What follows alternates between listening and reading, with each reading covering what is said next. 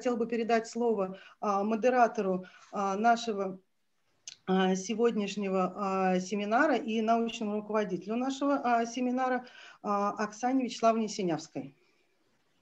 А, спасибо большое, Ольга. Уважаемые коллеги, добрый день. Очень рада всех видеть. И замечательно, что, в общем, так много людей сегодня собралось. А, это не первый семинар, посвященный а, обсуждению социальных и экономических эффектов пандемии – но а, давно планировавшийся, на самом деле, вот идею а, пообсуждать эффекты а, текущей пандемии на а, динамику доходов, на распределение доходов и бедность у нас возникла еще летом, и вот а, я очень рада, что, наконец, а, а, нам это удалось, и а, удалось это нам сделать во многом а, при а, поддержке и благодаря уже тоже традиционному и а, всегда очень плодотворному сотрудничеству со Всемирным банком. А, и здесь сегодня а, Всемирный банк а, выступает не только соорганизатором этого мероприятия, но и, собственно, ключевой доклад, который мы сегодня будем обсуждать, подготовлен экономистами Всемирного банка, либо консультантами, работающими со Всемирным банком. И нам будет очень интересно поговорить о тех результатах, которые у них получились. Я очень рада а, увидеть среди а, сегодняшних докладчиков и Михаила Матицына, с которым у нас, а, в общем, тоже достаточно долгое и плодотворное институциональное сотрудничество, и, безусловно, Дарью Попову, которая наряду с ее занятостью и работой в Эссексе является также ведущим научным сотрудником нашего института и познакомиться с Самуэлем а, Фрейх Родригесом. Вот. А дискуссантами сегодняшнего семинара у нас а, будут а, Владимир Ефимович а, Гимпельсон и Светлана Мареева, которая любезно согласилась выступить со-модератором семинара. И прежде чем мы передадим слово докладчикам, я бы хотела еще раз выразить признательность Всемирному банку за возможность проводить такие обсуждения и передать микрофон для приветственного слова Самуэля Фрейх Родригесу, ведущему экономисту глобальной практики бедности и справедливости Всемирного банка. Самуэль, вам слово.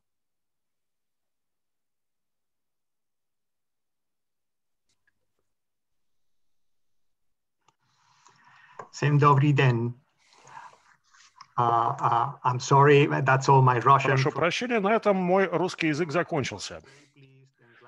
Я очень рад возможности присутствовать на этом мероприятии и от имени господина Рено Селигмана и от всех сотрудников Всемирного банка, работающих по России, э, как в Москве, так и в Вашингтоне, я рад приветствовать вас и, повторюсь, мне очень приятно принять участие в этом мероприятии. Я также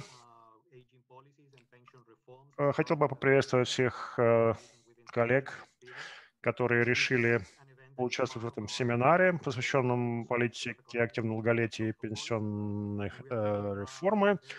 Это элемент нашего долгосрочного сотрудничества с Институтом социальной политики. Действительно, э, тематика, которая рассматривается в рамках этого мероприятия, представляет очень большой интерес, она весьма актуальна и для Российской Федерации, и для стран, в которых мы ведем работу. Э, сегодня в мире разворачивается пандемия. Э, вторая волна бьет по многим странам мира. И согласно последним оценкам, порядка 100 миллионов человек э, могут оказаться среди тех, кто относится к категории крайне бедных. Безусловно, это скажется на наших дальнейших действиях, на э, том, как будут выстраиваться меры политики, э, как будут вести свою работу исследователи и организации развития, такие как Всемирный банк.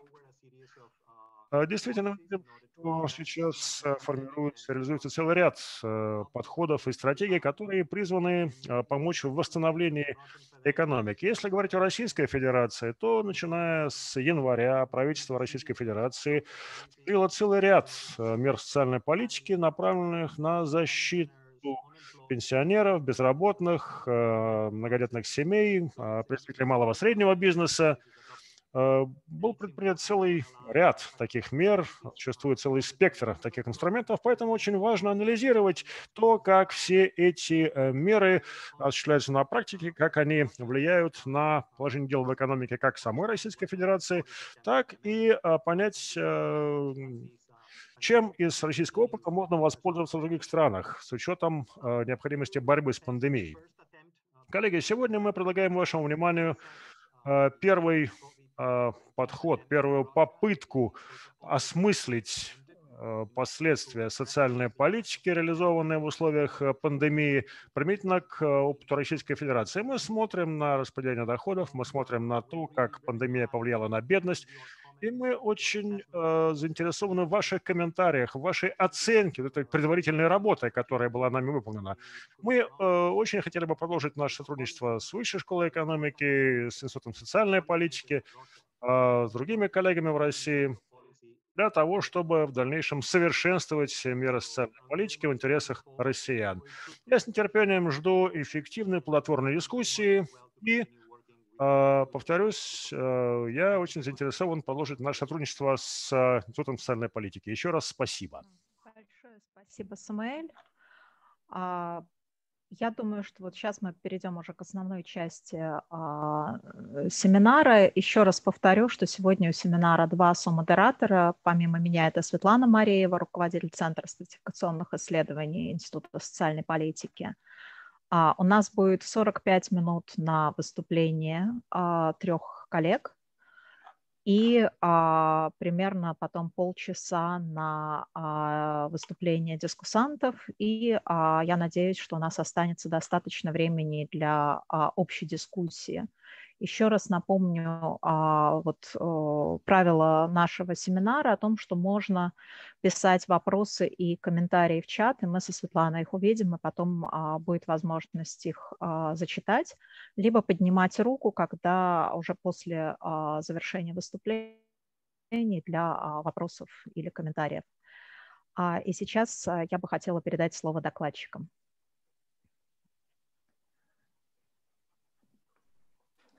Спасибо большое, Оксана. А, я буду первым докладчиком, и я благодарю всех присутствующих за участие в этом семинаре и организаторов за возможность представить нашу совместную работу по оценке влияния эпидемии COVID на распределение доходов и бедность. Можно следующий слайд?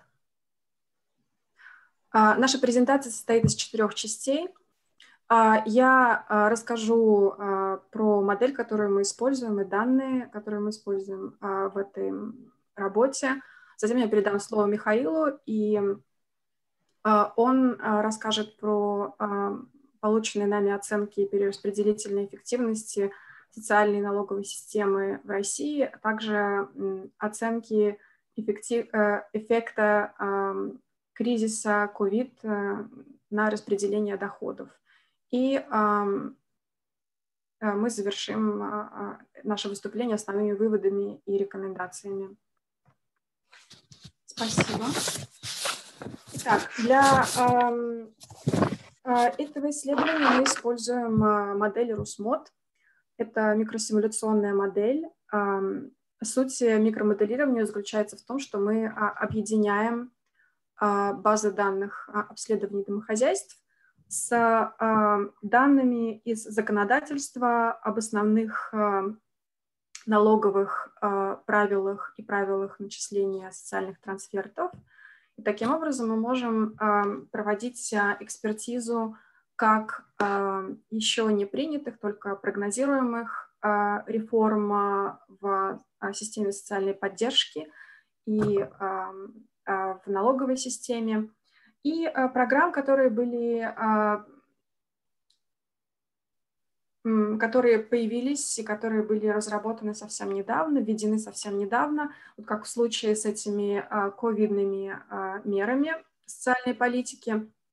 И у нас просто нет сейчас на данный момент данных обследований домохозяйств, которые позволяли бы оценить эти данные. Поэтому то, что мы делаем в этом исследовании, называется, этот метод называется no casting – и э, Таким образом, мы используем данные обследования хозяйств, объединяем их с законодательной базой и эм, получаем актуальные оценки эм, эффективности э, э, данных программ с точки зрения распределения доходов и бедности. А, модель Русмод э, написана в программном обеспечении Евромод, она полностью сопоставима с моделью Евромод для стран ЕС, поэтому мы также используем ее для международных сравнений. А, мы проводим регулярный апдейт модели, начиная с 2017 года. И а, в качестве исходных данных для модели используем а, данные российского мониторинга экономического положения и здоровья населения, а, РЛМС, и выборочного наблюдения доходов населения и участия в социальных программах Росстата. Модель, которую мы используем в этой работе, является статической.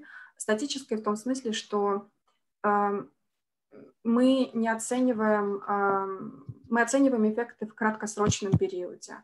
А, мы не оцениваем долгосрочные эффекты, но поскольку а, меры, которые мы оцениваем, экспертизу которых мы проводим в этом исследовании, являются также краткосрочными, и мы знаем, что они а, не будут действовать по истечении нескольких месяцев, мы считаем, что, в принципе, эти допущения являются адекватными, и они, эти меры не будут влиять в долгосрочном периоде на экономическое поведение домохозяйств.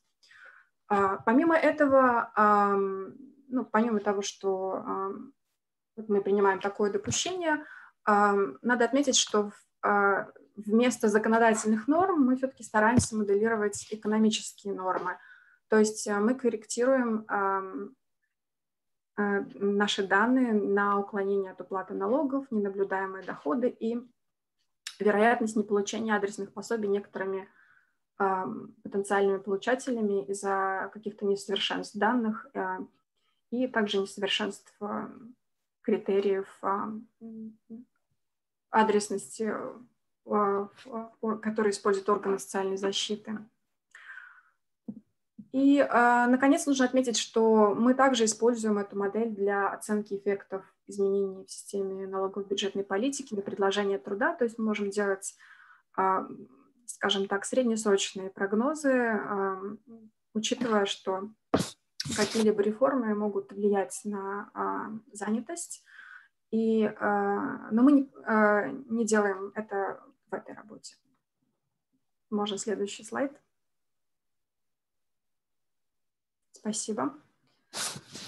А, здесь показана последовательность моделирования налогов в социальных трансфертах а, в модели РУСМОД. Начинаем мы с э, такой концепции дохода, как постналоговый рыночный доход. А, как правило, э, в данных обследований домохозяйств вопрос задается о постналоговом доходе. И э, поэтому мы должны сначала восстановить э, рыночный доход, э, смоделировав взносы на социальное страхование и НДФЛ. А затем мы снова вычитаем эти взносы НДФЛ и добавляем трансферты, чтобы получить располагаемый доход домохозяйства. А, и затем а, у нас еще есть третий, третий шаг. А, мы вычитаем из располагаемого дохода НДС и акцизы на алкоголь, табак и автомобильное топливо, а, то есть те виды косвенных налогов, которые мы можем а, смоделировать для домохозяйств, для населения. И поэтому наше итоговое понятие дохода, итоговая концепция дохода – это постналоговый или потребляемый доход – и нужно отметить, что а, мы не можем смоделировать все трансферты. А, например, пенсии. А, для того, чтобы смоделировать пенсии, нам нужна история индивида, история занятости, социальных отчислений и так далее. Поэтому эти компоненты дохода берутся из данных, но для их актуализации на 2020 год мы используем индексы роста доходов а, для этих компонентов. Все остальные компоненты соответствуют те, которые моделируются, соответствуют законодательству на данный момент. Так, да. И еще надо сказать о том, что мы будем использовать постоянное определение перераспределительный эффект. В общем, это разница между располагаемым доходом и рыночным доходом или между потребляемым доходом и рыночным доходом. Спасибо, да, можно следующий. Да. Ну, главной инновацией в этой работе является то, что мы используем два источника данных. Это данные RLMS, самой последней волны RLMS, которая была доступна на момент исследования 2018 года, и данные ВНДН 2017 года. Почему мы используем оба источника? Во-первых, э, они являются комплементарными э, друг другу. Данных, данных RLMS мы имеем и доходы, и расходы домохозяйств, поэтому на основе данных RLMS мы можем восстановить вот эту третью, рассчитать третью концепцию дохода, постналоговый или потребляемый доход. Данные ВНДН позволяют нам а, проводить анализ на региональном уровне.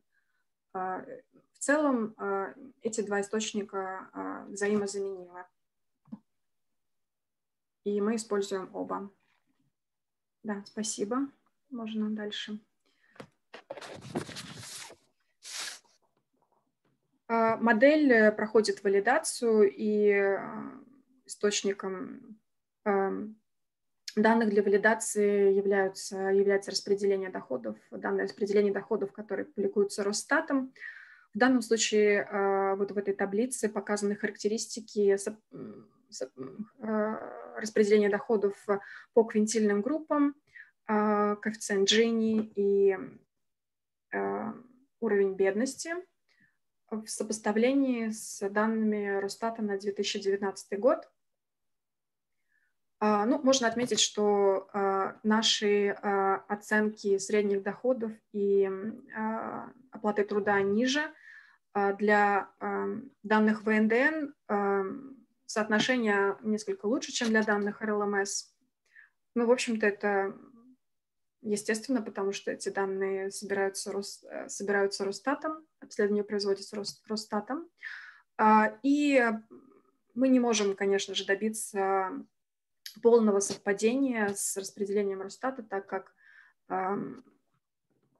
они также используют э, моделирование для своих оценок распределения доходов и бедности. Ну, в целом, вот мы можем отметить, что мы хорошо предсказываем среднюю часть распределения, и э, у нас, наших, по нашим расчетам, высшая э, доля доходов, которая приходится на первый квинтиль, и, соответственно, ниже э, доля доходов э, пятого квинтиля. Э, но в целом э, это э, характерно для большего числа обследований, в том числе европейских. Э, поэтому мы считаем, что э, наша модель дает достаточно точные оценки распределения доходов. А, да, теперь я передаю слово Мише. Спасибо. Спасибо. Да, спасибо большое, Дарья. Я присоединяюсь к благодарности организаторам и участникам семинара за возможность представить наши результаты. Мы будем благодарны за вашу обратную связь, вопросы и комментарии. А я также хотел бы сказать, что в настоящий момент мы готовим публикацию по результатам этого исследования, которая будет чуть более подробно содержать э, основные э, положения методологические и э, выводы, и численные расчеты. Публикация выйдет на английском языке, а, скорее всего, в рамках серии публикаций Всемирного банка. Однако, если участники семинара считают, что есть спрос на то, чтобы мы выпустили эту публикацию также на русском, дайте нам, пожалуйста, знать, мы постараемся рассмотреть такую возможность. Итак, я начну свою часть, свою часть выступления с короткого обзора того, насколько э, силен и выражен перераспределительный эффект российской социальной налоговой политики в целом, пока не применительно к эффектам пандемии или другим э, реформам в этой сфере, а как бы статус-кво, текущее состояние системы, а потом уже перейду к рассказу о том, как мы оценивали эффекты пандемии и эффекты тех мер, которые правительство России ввело для борьбы с этой пандемией. Итак, а, на первом слайде, на, на этом слайде а, мы привели графики того, как выглядит а, перераспределительный эффект по децельным группам, а также по типам поселения. Основной вывод, который я хочу сделать отсюда, заключается в том, что в целом российская система достаточно сильно перераспределяет доходы. Прежде всего, это перераспределение происходит как раз по доходным группам, ну, от бедных к богатым, ой, от богатых к бедных, прошу прощения, а что, в принципе, довольно очевидно. В целом, общий эффект а, является близким к нейтральному, в том смысле, что все российское население в целом является, не является нет, ни нетоплательщиком, ни нетополучателем из-за социальной и налоговой системы, то есть размер налогов, которые они платят систему, и размер социальных э, пособий, которые они получают, всех, включая пенсии, более-менее уравновешивают друг друга. Однако по децельным группам этот эффект крайне неравномерен. То есть нижние группы практически полностью полагаются на те пособия, которые они получают, прежде всего пенсии. Собственно, ну, проще сказать, что у них нет своего рыночного дохода, то есть у них нет ни зарплат, ни предпринимательского дохода. А старшие верхние децельные группы, наоборот, получают незначительную часть своего дохода в виде пособий и других выплат из социальной системы, в то время как а, довольно значительную часть а, своих доходов они платят в качестве налогов. То есть эффективная налоговая ставка, которая включает в себя все и прямые налоги, и страховые взносы, и косвенные налоги, может превышать 20% их дохода. А в данном случае децельные группы выделены по рыночному то есть э, доходу до всех интервенций со стороны государства. И на правой панели этого слайда график перераспределения по типам поселений. Мы видим, что в этом случае эффект очень слабо выражен, то есть перераспределение практически не происходит. Да, в целом э, более крупные и богатые города, Москва, Санкт-Петербург и другие региональные центры и прочие городские а, поселения являются ну, нетто-плательщиками, то есть они в целом чуть больше платят, чем получает из системы, в то время как сельские поселения являются нетто-получателями, то есть объем их а, пособий и трансфертов несколько выше, чем объем налогов, которые платят в систему. Но этот эффект не слишком значителен. А, я, наверное, не оговорился. Результаты, которые я показываю а, вот на этих слайдах, а, базируются на данных а, RLMS. Мы считаем их чуть более надежными для национального уровня, в силу того, что, несмотря на то, что выборка несколько меньше, но зато детализация вопросов существенно выше, и у нас была возможность точнее смоделировать различные программы. А самое главное, что косвенные налоги можно смоделировать было только на данных RLMS. Данные ВНДН, в силу того, что они не имеют блока по а, потреблению, не позволяли нам моделировать а, результаты косвенных налогов, поэтому в данном случае мы опираемся на RLMS. Чуть позже я могу привести сравнительные картинки, если будет интересно, и показать, что в целом эти два а, источника данных дают близкие результаты моделирования. И там, где я буду говорить о региональных эффектах, там это будет базироваться на данных VNDN, а национальные, в свою очередь, на данных RLMS. Итак, следующий слайд а, нам показывает аналогичную картинку перераспределительного эффекта, но уже по типам семей и по возрастным группам респондентов – и здесь, в принципе, я думаю, неудивительно для участников семинара, которые в основном хорошо знакомы с российской социальной системой, видно, что основные получатели а, социальных пособий в России – это прежде всего пенсионеры, это семьи пенсионеров или семьи с пенсионерами. Вообще в целом можно сказать, что один из основных выводов вот этого анализа статического заключается в том, что пенсии практически полностью доминируют в России а, по отношению к остальным компонентам социальной системы. Также семьи а, с тремя и более детьми или одинокие родители в относительном выражении являются бенефициарами системы, в то время как а, семьи с одним ребенком, двумя детьми или семьи вообще без детей являются чистыми нетоплательщиками в систему. В целом можно сказать, что это неплохой вывод в том смысле, что мы знаем, семьи а, с тремя и более детьми и одинокие родители – это, как правило, наиболее уязвимые группы российского населения. По крайней мере, риски бедности для этих групп являются самыми высокими по официальным данным. На этом слайде я показываю, мы показываем сравнение российской системы с другими странами Евросоюза. Это как раз преимущество того, что модель, с которой мы работаем, Русмод, является продолжением а, широкой модели Евромод, которая, в свою очередь, а, оценивается для всех стран Евросоюза. И вывод, который можно сделать с точки зрения коэффициента Джини и а, изменения доходного неравенства, российская система в целом имеет гораздо более слабый перераспределительный эффект, чем большинство стран Евросоюза. Только Латвия и Болгария оказываются в этом смысле менее перераспределительными, чем Россия, в то время как все остальные 26 стран Евросоюза имеют более выраженный перераспределительный эффект. А напомню, что под перераспределительным эффектом мы понимаем а, снижение неравенства между рыночным доходом и между располагаемым доходом.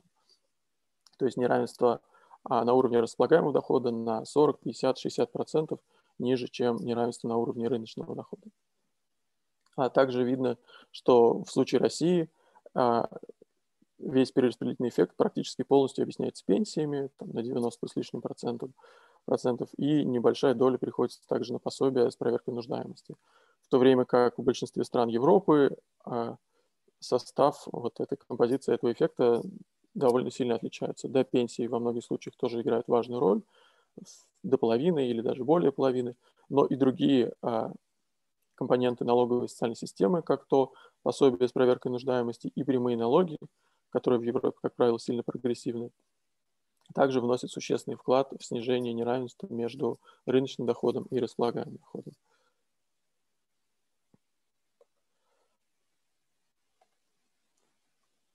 А теперь мы переходим к результатам на региональном уровне, и результаты, которые будут для регионов России, в свою очередь, опираются на данные а, ВНДН, обследование Росстата, обследование доходов населения Росстата, который имеет а, выборку представительную на уровне регионов, в то время как РЛМС, к сожалению, не является представительным. И также мы можем оценить перераспределительный эффект между регионами. Не в том смысле, что мы а, сравниваем, сейчас попробую объяснить, когда мы говорим о перераспределительном эффекте между регионами, мы прежде всего смотрим, насколько разные регионы различаются между собой. Естественно, они различаются по нескольким направлениям. Это как экономические параметры регионов, уровень дохода в одних выше, в других ниже, так и демографические параметры, где-то больше доли пожилых, соответственно, роль пенсии там объективно выше, где-то меньше доли пожилых. И количество детей на семью тоже может быть очень разным так и различные параметры федеральных э, налоговых и социальных политик, которые мы моделировали. Стоит оговориться, что мы не включали в модель специфичные для регионов а, отдельные социальные политики, которые не существуют на федеральном уровне. Однако те, которые существуют на федеральном уровне, были смоделированы таким образом, чтобы учитывать а, региональные параметры. Например, если какие-то пособия с проверкой нуждаемости привязаны к прожиточному минимуму на уровне регионов, то мы, естественно, брали все 85 прожиточных минимумов на уровне регионов и моделировали а, эти пособия с такой степенью детализации.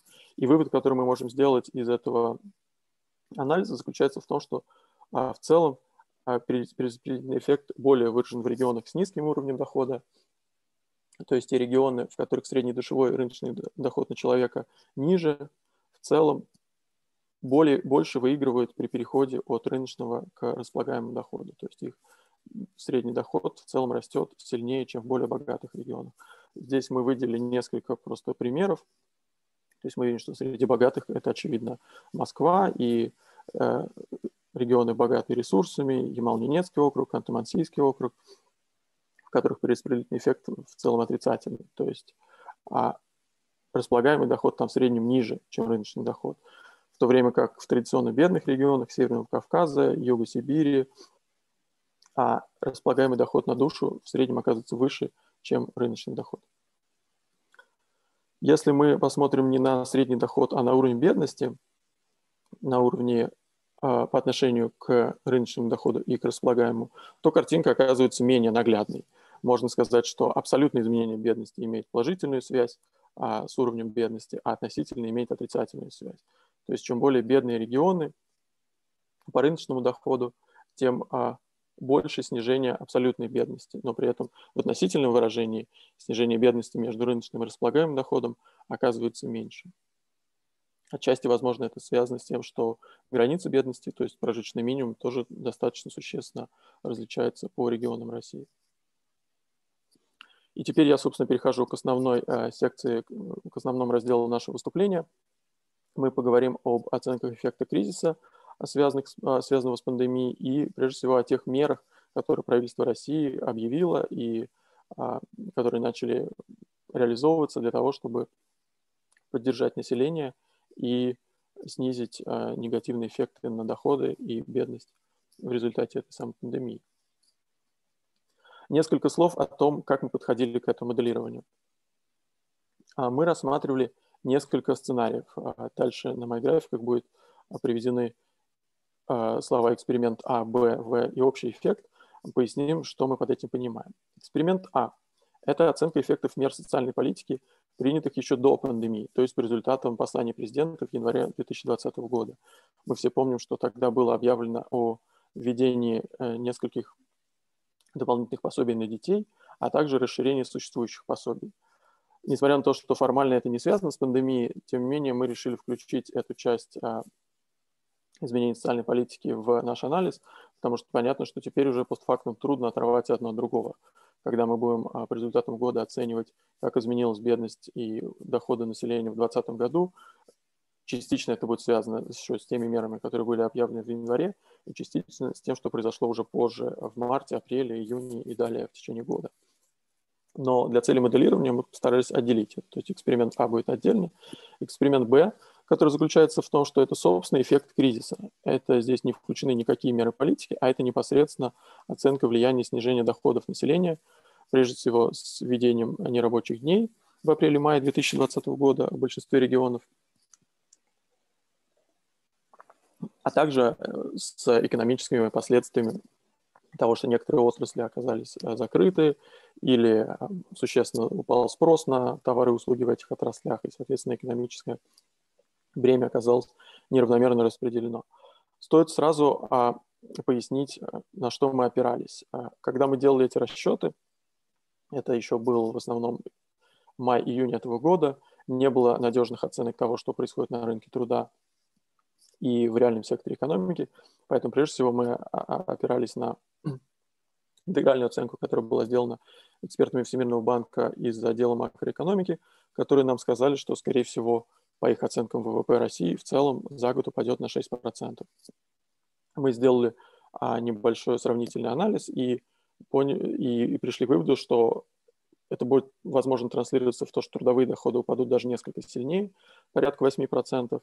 И мы а, разложили это на два, на два канала, на два механизма, через которые это может происходить.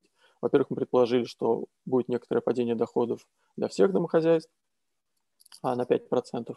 А во-вторых, что некоторое количество работающих потеряет работу полностью и, соответственно, полностью потеряет свой доход от трудовой деятельности.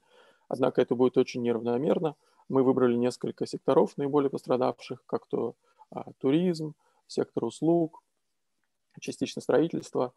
И прежде всего это мы предположили, что этот эффект будет выражен а, в региональных центрах Москва, Санкт-Петербург и другие а, центры областные. Естественно, эти все предположения являются довольно грубыми и могут быть уточнены. А, забегая вперед, я сразу скажу, что мы уже работаем над уточненными сценариями, и я думаю, в течение нескольких недель или месяцев у нас появятся более точные расчеты. Однако нам представляется, что такой сценарий, который включает в себя два механизма, два канала, является достаточно показательным, потому что он позволяет учесть различные эффекты как в тех регионах, которые больше пострадали от пандемии, так и в тех, которые относительно меньше, тем не менее тоже испытали общий страновой эффект. И, собственно, эксперимент УВ, это, наверное, основной а, в нашем случае, он оценивает эффективность мер социальных политиков, социальной политики, которые уже были приняты непосредственно по результатам кризиса. Они были объявлены в несколько этапов, однако здесь мы собрали их все вместе. На слайде мы перечислили основные а, меры, которые мы включили в модель. Это и а, едино, единовременная выплата детей а, разных возрастов, и денежные выплаты пенсионерам, и дополнительную индексацию пенсий, Также я хочу говорить, что мы не только социальные, но и налоговые меры а, постарались моделировать настолько, насколько это было возможно. То есть налоговый вычет для самозанятых, отмену подоходного налога и страховых взносов во втором квартале для занятых в малых и средних предприятиях и так далее. А данные не всегда были достаточно полны, чтобы мы полностью учли эти эффекты, однако мы постарались извлечь максимум информации, которую было возможно. Опять же, оговорюсь, что данные РЛМС чуть более надежны на национальном уровне, в то время как данные ВНДН имеют меньше информации о рынке труда и типе занятости респондентов, поэтому налоговые вычеты и налоговые меры удалось нам смоделировать чуть менее точно. Поэтому, когда мы будем говорить о национальных эффектах, мы будем опять основываться на данных РЛМС, а региональные эффекты будут в основном на данных ВНДН. Ну и общий эффект, как Э, довольно очевидно, это совокупный эффект экспериментов А, Б и В, то есть э, суммарный эффект от всех трех этапов кризиса и мер поддержки населения против этого кризиса. Ну и несколько слов о дополнительных предположениях, которые мы сделали для моделирования. А, как Дарья уже сказала в начале, в целом подход а, Евромод и Русмод заключается в том, что экономический эффект а, налогов, экономическое бремя – может быть распределено а, разным образом. В данном случае мы предположили, что экономическое бремя и экономическая выгода от снижения налогов полностью ложится на работника, а не на работодателя. То есть снижение налогов полностью транслируется в увеличение трудового и, соответственно, располагаемого дохода. Теоретически это предположение можно ослабить, однако мы хотели посмотреть а, эффективность мер именно в этом предположении. И также мы сделали а, предположение о том, что меры политики будут скажем так, не полностью востребованы. То есть, э, например, пособие по безработице, да, оно объявлено, но не все, кто теоретически являются безработными, за ним обратятся. Но мы знаем, что и в настоящий момент в России ситуация устроена так, что зарегистрированный уровень безработицы существенно ниже, чем фактический, а тем более а, количество тех людей, которые получают пособие, еще значительно меньше, чем тех, которые являются безработными по методологии Международной организации труда. И даже для других пособий, новых пособий на детей, мы предположили не стопроцентное обращение за ними, мы поставили а уровень 75%, имея в виду, что до каких-то людей информация, может быть, не дойдет, у каких-то не будет нужных документов, и в целом не вполне понятно пока, как эта ситуация будет реализована на практике, поэтому мы хотели сделать некоторое осторожное предположение, что да, большая часть семей так или иначе за ними обратится, но будут те семьи, которые, к сожалению, не смогут получать эти пособия. И, в принципе, мы просто случайным образом распределяли вот это вот обращение. Среди всех, кто теоретически имеет право получать эти пособия, мы пропорционально вот этим коэффициентам ввели переменную, которая отвечала за то, обратиться эта конкретная семья за пособием или нет. И перейдем, собственно, к результатам. А, я буду стараться показывать их а, в тех же а, разбивках, в которых я говорил о статических эффектах. То есть вначале мы видим представление по децельным группам и по типам поселений, можно сказать, что в целом ситуация оказалась а, относительно более благоприятной для низших, для наименее а, обеспеченных групп населения, для низших децельных групп и менее благоприятной для старших децельных групп. В том смысле, что и эффект кризиса, эксперимент Б, оранжевые столбики на диаграмме, оказался в целом относительно более выражен для более богатых э, респондентов. И меры социальной поддержки оказались, в свою очередь, наоборот, относительно более а, сосредоточены на группах э, наименее обеспеченных. То есть и в результате эксперимента А, напомню, это меры, объявленные по результатам январского послания президента, и меры по результатам пандемии, то есть серые столбики эксперимента В, они являются прогрессивными в том смысле, что бедные слои населения получают больше в относительном выражении, чем богатые. И, соответственно, общий эффект получился э, не, желтые столбики, несколько негативный в целом для всего населения, однако он является положительным для нижних четырех децильных групп и отрицательным для верхних шести децильных групп. То есть нижние слои населения, возможно, даже выиграют по результатам всех а, мер, принятых в результате кризиса, в то время как старшие, скорее всего, понесут определенные потери, связанные со снижением их доходов. По типам поселения ситуация также крайне неравномерна.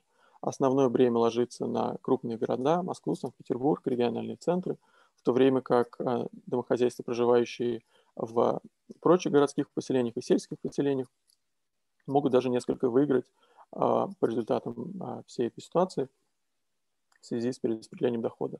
Стоит, конечно, сразу оговориться, что во многом это объясняется и предположениями модели.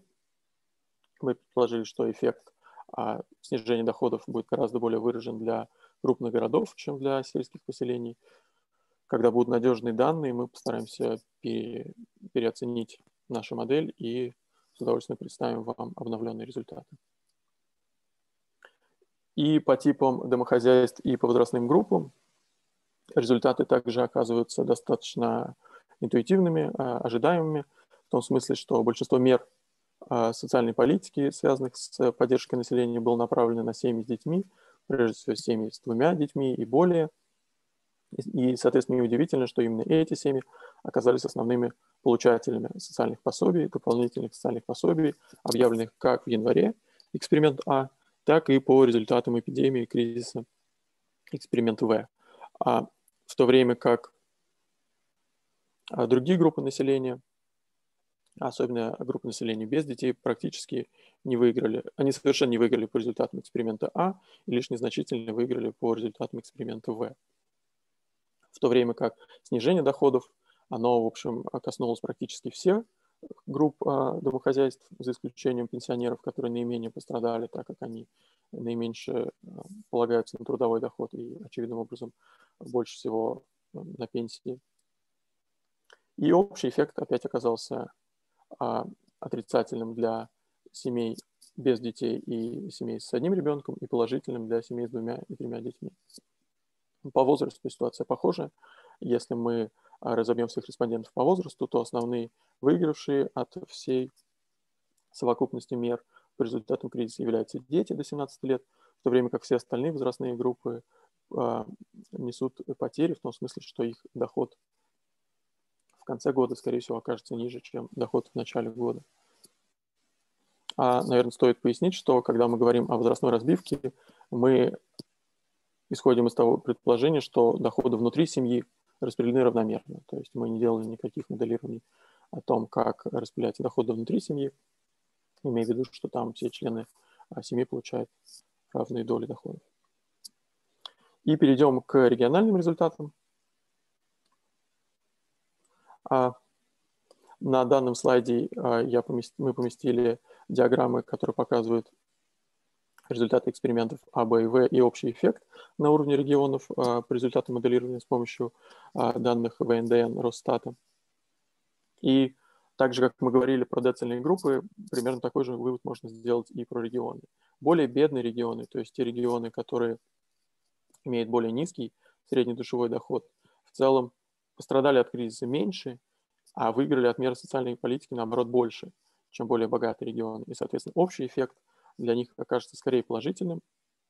Самая правая панель э, диаграммы мы видим, что беднейшие регионы, такие как Тыва, Дагестан, другие регионы Северного Кавказа, э, возможно даже выигрывать по результатам кризиса и мер социальной политики, связанных с поддержкой населения, в то время как наиболее богатые регионы, Москва, Санкт-Петербург и богатые ресурсами регионы Сибири проиграют и потеряют э, больше остальных. То есть потеря доходов в них может доходить до 10-12%. А это общий эффект складывается, как я уже сказал, из э, двух сонаправленных эффектов. В свою очередь, и богатые регионы, крупные города больше страдают от кризиса эксперимент Б, и, соответственно, они меньше выигрывают от мер социальной политики, эксперименты А и В. И если посмотреть на аналогичную картинку, но не для уровня дохода, а для уровня бедности по регионам, то мы можем сделать а, близкий вывод. Уровень бедности снижается в более бедных регионах, в то время как а, в наиболее богатых, то есть регионах, в которых изначально уровень бедности был ниже, он, возможно, даже вырастет. В данном случае мы видим, что Москва, Санкт-Петербург, а, скорее всего, по результатам года покажут уровень бедности более высокий, чем в начале, в то время как некоторые другие регионы, возможно, даже продемонстрируют снижение уровня бедности. Но, опять же, это складывается из двух эффектов. В свою очередь, они меньше затронуты кризисом, потому что доля трудовых доходов в этих регионах меньше, а мы предполагали, что основной канал кризиса будет связан именно с трудовыми доходами. И, в свою очередь, они больше выигрывают от мер социальной политики, потому что и демографические параметры у них таковы, что доля пенсионеров, большее количество семей с детьми и большее количество детей в среднем на семью. И, соответственно, меры политики, которые в основном а, транслируются по этим двум каналам, окажутся более эффективны в этих регионах. Поэтому можно сказать, что социальные поли... Э, меры социальной политики и налоговые меры, которые были приняты в России в целом, оказываются а, сосредоточены именно на тех группах населения, которые наиболее нуждаются. Однако они не совсем сосредоточены на тех группах населения, на тех регионах, которые наиболее пострадали от кризиса. Ну, на данном слайде я, а, мы приводим еще раз выводы. Я, наверное, не буду подробно останавливаться, а, потому что они в основном повторяют те выводы, которые мы уже а, анонсировали в результате в процессе выступления. Я бы хотел передать слово Сэмуэлю для того, чтобы он еще раз обобщил основные результаты нашего моделирования, рассказал о том, как Всемирный банк видит возможные эффекты для, для дальнейшего развития социальной политики в России и какие дальнейшие направления исследований мы планируем а, в течение этого и следующего года. Спасибо огромное и передаю слово Сэмюэлу. Сэм, the floor is yours.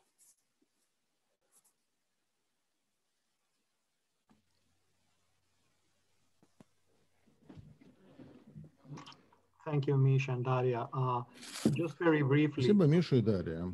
Очень коротко. Вот. Это исследование привело нас к целому ряду серьезных выборов, что система социальной помощи и транспортов в России направлена на помощь беднейшим слоям населения. А хотя и основное социальное перераспределение происходит через пенсии, в отличие от других европейских стран, которые полагаются в том числе и на прямые налоги, а не только на систему перераспределения, на систему трансфер. И в этом случае в России вот эти как раз инструменты играют очень маленькую роль, в отличие от европейских стран. Поэтому меры, принимаемые в ходе а, пандемии, они очень прогрессивны в том смысле, что они нацелены на беднейшие группы населения. И и поэтому мы в своем отчете по России пишем, что социальная политика предотвратили усиление и увеличение а, размера бедности в России в 2020 году. Как Миша и Дарья уже сказали, мы сейчас работаем над продолжением и расширением модели РУСМОД –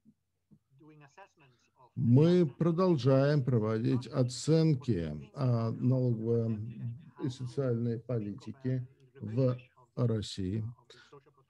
Смотрим, каким образом а, изменится и будет развиваться система социальной защиты в России после пандемии, насколько прогрессивной она будет. В настоящее время мы также работаем над а, новой динамической, так сказать, поведенческой системой которая бы дополняла модель РУСМОД для того, чтобы мы могли моделировать реакции людей на изменения вот этой системы, с тем, чтобы модель была не статической, а уже динамической. Поскольку многие регионы сейчас проявляют заинтересованность в трансформации, в преобразовании системы социальной защиты – и включению дополнительных параметров с учетом сложности и разнообразия вообще региональной картины Российской Федерации. Мы готовим прогнозы для Российской Федерации на 2020-2021 год, и мои коллеги уже провели серьезную работу по экономическому спаду и уже был пересмотр наших первоначальных прогнозов, там 6 до 5, 5,4%. В мае прошлого года мы провели повторный анализ на основе имеющихся, а, имеющихся данных с учетом конкретного эффекта пандемии и той политики, которая была принята в качестве реакции для смягчения последствий пандемии. Была проведена техническая работа по уточнению механизмов борьбы с бедностью и э, в России в, по усилению мер социальной защиты. Спасибо еще раз за ваше внимание. Уважаемые коллеги, я бы хотела поблагодарить Дарью Михаилову и Сэмера за очень интересный доклад и особенно за соблюдение регламента. Мне кажется, получилось очень э, четко и структурированно изложить э, большое количество полученных результатов, важных результатов и отдельно отметить вот важные перспективы развития этой модели. А, я вижу, что в чате были было достаточно большое количество вопросов по методологии, да, но вот Дарья на них отвечала. А, давайте мы сейчас поступим следующим образом, выделим, у нас, наверное, есть возможность выделить 5-10 минут на вопросы, именно вопросы, не комментарии. Затем у нас будут два выступления дискуссантов, и затем уже общая дискуссия с комментариями, оценками, какими-то пожеланиями к докладчикам. Если есть вопросы, если есть какие-то вопросы, не отвеченные из чата, хотя, мне кажется, в чате все отвечено, то, пожалуйста.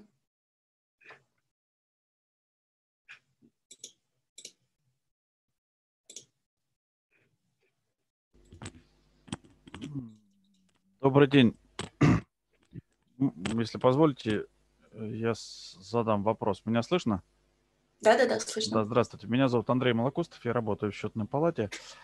А, я не очень понял вот две вещи, если вы позволите, я бы хотел уточнить. Значит, во-первых, я не очень понял, а, что именно вы делали с налогами, там, с НДС, с акцизами, поскольку вот в выборочных обследованиях там уже как, как бы нет никаких э, НДС и акцизов.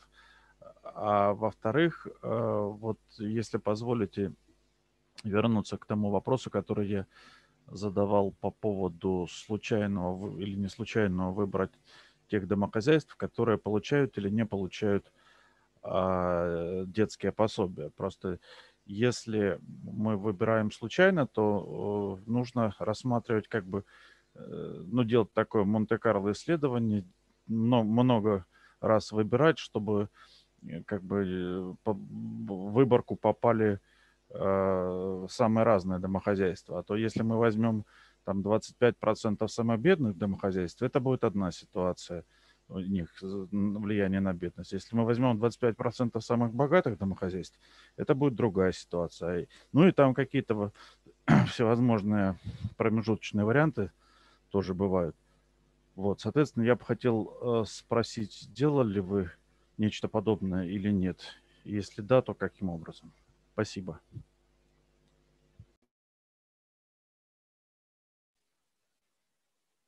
Светлана, скажите, мы как сразу отвечаем или собираем несколько вопросов? Вас не слышно, к сожалению.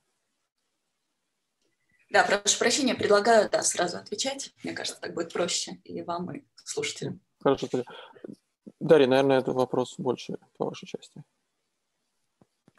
А, спасибо за вопрос. А, первое про, а, про налоги, да, про косвенные налоги. Да, действительно, в, ну, в данных их нет, но у нас есть информация о расходах домохозяйств на различные категории, такие как одежда, обувь, питание и так далее, по достаточно таким подробным, под, э, подробной разбивке в РЛМС. И э, таким образом инверсионным методом мы можем восстановить размер а, косвенных налогов, которые платят домохозяйствам. Э, НДС. И что касается акцизов, то в РЛМС также собираются данные о количестве выпитого алкоголя и а, сигарет. А, и мы также можем вот таким образом восстановить э, эти, эти виды расходов и акцизы.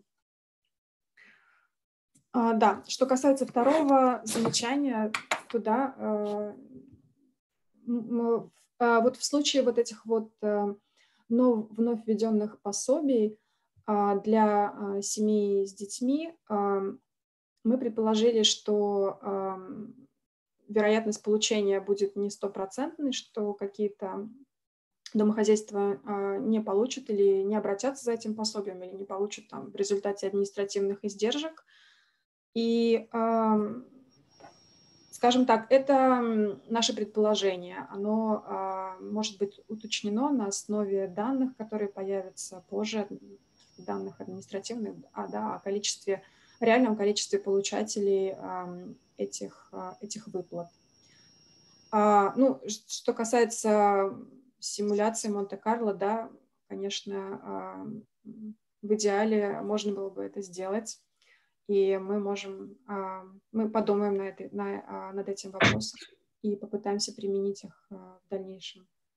Сейчас этот, эта корректировка сделана случайным методом, то есть поскольку у нас нет каких-то внешних данных, на которые мы можем опереться, чтобы сделать более точный прогноз. Поэтому мы делаем это таким вот случайным образом.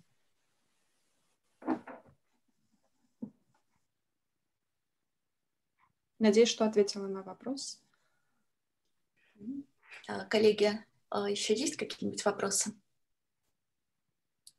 Вот я вижу, что в чате у нас еще один вопрос да, про моделирование доходов от самозанятости.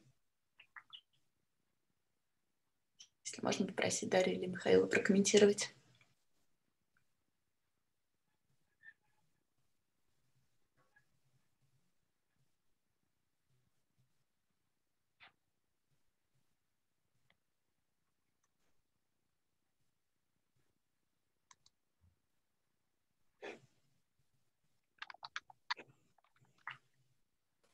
А можно попросить Анну чуть подробнее пояснить вопрос? О каких а... изменениях вы говорите, Анна? Я говорю о том вот введении этого режима налогового особого для самозанятых, который позволяет серьезно сэкономить и на выплатах по НДФЛ, и на соцвзносах, поскольку они их не платят. Это, конечно, в региональной компетенции было введение этих налогов, но большинство из регионов ввели у себя эти налоги. Да, я понял, спасибо. Нет, к сожалению, насколько я, Дарья меня поправит, если я не прав, насколько я понимаю, вот именно эту часть мы не смогли точно смоделировать, именно потому что у нас нет такой информации в обследовании.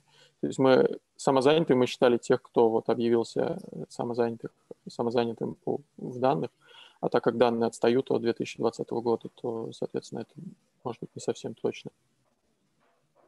И у меня еще тогда один вопрос, вот касается вот этого продолжения того, что сейчас обсуждалось про НДС и так далее. Вот поскольку в связи с пандемией значительная часть э, расчетов э, перешла в безналичную форму, то, соответственно, возможно, э, это снизило возможности для уклонения от этой формы налогов и расчета там черным налом и так далее. Вот как это могло отразиться на ваших расчетах? Я, честно сказать, не очень понял вопрос. Мы, в принципе, не, не, не моделируем уклонение от налогов. То есть мы предполагаем, что налоги платятся полностью а, в рамках тех правил, которые существуют. И так как никаких изменений в правилах начисления НДС, насколько нам известно, по результатам кризиса принято не было, то в данном случае мы, мы не моделировали эти эффекты. Если я не, неправильно понял, поясните, пожалуйста. Ну, в том, что как бы, когда расчеты идут в наличной форме, то, соответственно, э, текст, которым мы рассчитываем, да, там какие-то услуги оказывают, то они, соответственно, эти НДС не выплачивают. А когда расчеты идут в безналичной форме, то, возможно, уклонение от НДС затруднено. Я не знаю, но вот mm. меня как бы вот этот эффект, который связан с изменением порядка расчетов в течение кризиса, интересует. Нет, мы это не моделировали. Может быть, Дарья может подробнее рассказать, если в Евромоде опыт моделирования уклонения или каких-то других форм избежания налогообложения. А, ну, то как, э, то, как мы это моделируем, а, у нас есть информация в данных а, и RLMS, и ВНН о том, работает ли, является ли работник формально занятым. И такая же информация есть для самозанятых. То есть на основе вот этой информации мы э, либо моделируем налоги полностью, э, либо не моделируем совсем. К сожалению, более точно это сделать невозможно, так как, поскольку так сформулирован вопрос данных, и, конечно, можем предположить, что определенный э, процент заработной платы может быть формальным, и а, какой-то процент может быть а, неформальным. Соответственно, вот этого мы не можем сделать а, за ограничение базы данных. Это стандартный подход, который используется во всех моделях Евромод в том числе. Для, в основном для стран Восточной Европы, конечно, потому что там эти проблемы уклонения от уплаты налогов также актуальны.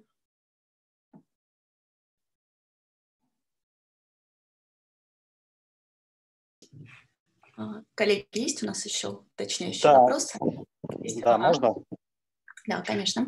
Э, здравствуйте, меня зовут Александр Горюнов. Я, как и Андрей Молокостов, э, представляю счетную палату.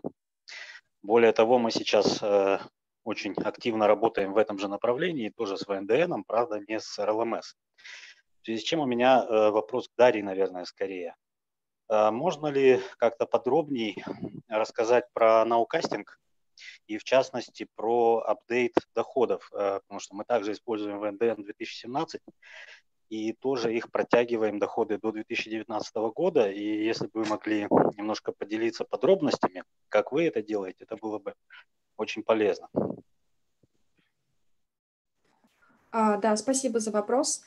А, у нас есть э, два вида компонентов доходов. А, какие-то мы можем полностью смоделировать на основе законодательных правил, и а, поэтому у нас нет необходимости делать для них ноукастинг. Они у нас уже являются актуальными на момент а, исследования. Тот год, который мы выбираем, мы можем сделать это на основе имеющихся данных в законодательстве и каких-то допущений о том, что вот а, определенная часть занятых, самозанятых не заплатит налоги и социальные взносы, а, ну и так далее, те, о которых мы говорили. И есть часть компонентов, которые не моделируются, а берутся напрямую из данных. Соответственно, это вот все компоненты рыночного дохода, такие как оплата труда, а, плюс это пособия, для которых нам нужна информация о занятости и о страховом стаже за длительный период времени, пенсии и, как, или какая-то другая информация, например, вот ЕДВ, мы не можем это смоделировать а, с учетом ограничения базы данных, и поэтому а, для а, актуализации этих компонентов мы используем индексы роста доходов для каждого из этих компонентов. Это, ну, собственно, соотношение этого компони... А, размера этого компонента дохода в момент сбора данных и в момент в тот момент, когда мы делаем наши прогнозные оценки. То есть э, это будет, э, скажем, для, если у нас данные ВНДН, это данные дохода 2016 года, то есть мы возьмем тогда вот мы рассчитаем такой индекс по данным Росстата и будем, соответственно, корректировать на этот индекс исходные данные. Понятно, спасибо большое. Коллеги, еще буквально там один-два вопроса, если есть такая необходимость. Так, если вопросов нет, то я предлагаю перейти к э, выступлению дискуссантов. И первый дискуссант у нас сегодня Владимир Ефимович Гимпельсон. Э, с удовольствием передаю ему слово. Владимир Ефимович, звук. Спасибо. А можно отключить презентацию и а, мне получить право? Оно у вас есть. Есть, да? Ага. Так. сейчас, извините. Я чего-то потерял презентацию. Сейчас я ее найду.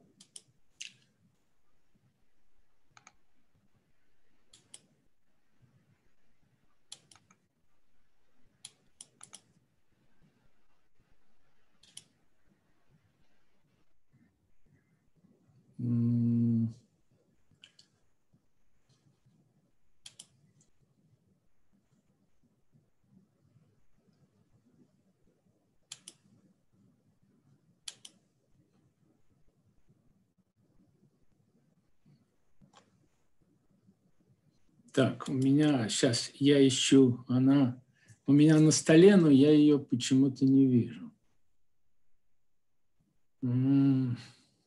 Если хотите, я могу ее запустить.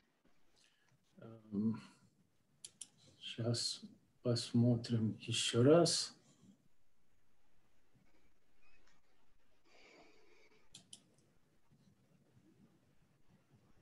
Ну, давайте, э, Оль, запустите ее. Почему-то ее, э, ее почему-то так. А, ну я ее так. Теперь видно, да? Все. Угу. Вы мне просто говорите, когда следующий слайд, я буду переключать. Да. Так, хорошо. А, э, уважаемые коллеги, друзья, э, прежде всего спасибо организаторам за приглашение, за возможность выступить.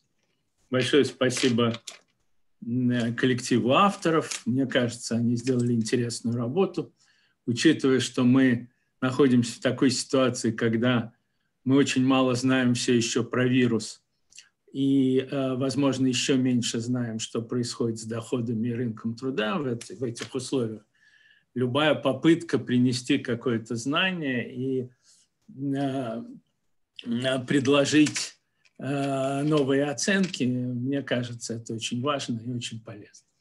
Значит, следующий слайд. О, да.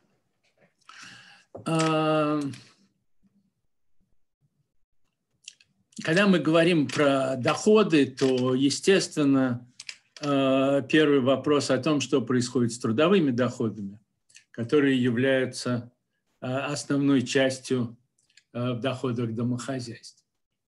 И здесь, я уже сказал, мы находимся в сложной ситуации, поскольку статистика запаздывает, но та статистика, которая у нас есть, она которая, которая собирается Росстатом, она не дает полной картины. Я повторю тезис, который я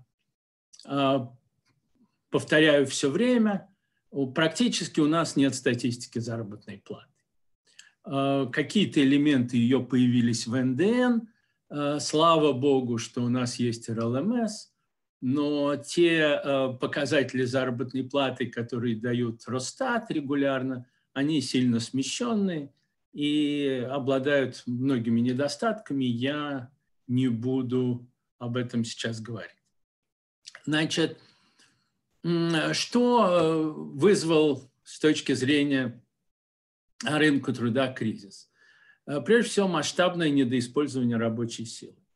И оно с одной стороны, ожидалось в виде роста безработицы, с другой стороны, через сокращение отработанного рабочего времени, которое привело к падению трудовых доходов. Падение трудовых доходов ведет к росту бедности и неравенства. Ну а кроме того, э, создает большую неопределенность для всех участников рынка труда. Эти эффекты, они во всех странах. Здесь Россия Э, никаким образом не уникальна, э, но они э, могут проявляться по-разному. Где-то больше время пострадало, где-то больше, чуть, чуть больше выросла безработица, но механизмы одни и те же. И первое, к чему все обращаются, когда говорят об эффектах ковида для рынка труда, это, конечно, безработица. А, статистика в силу разных обстоятельств может его недооценивать. Но поскольку кризис специфический, это не обычный кризис спроса, это кризис предложения, то в общем оснований полагать, что рост безработицы как основной формы недоиспользования рабочей силы будет большим, мне кажется, что оснований нет. Следующий слайд.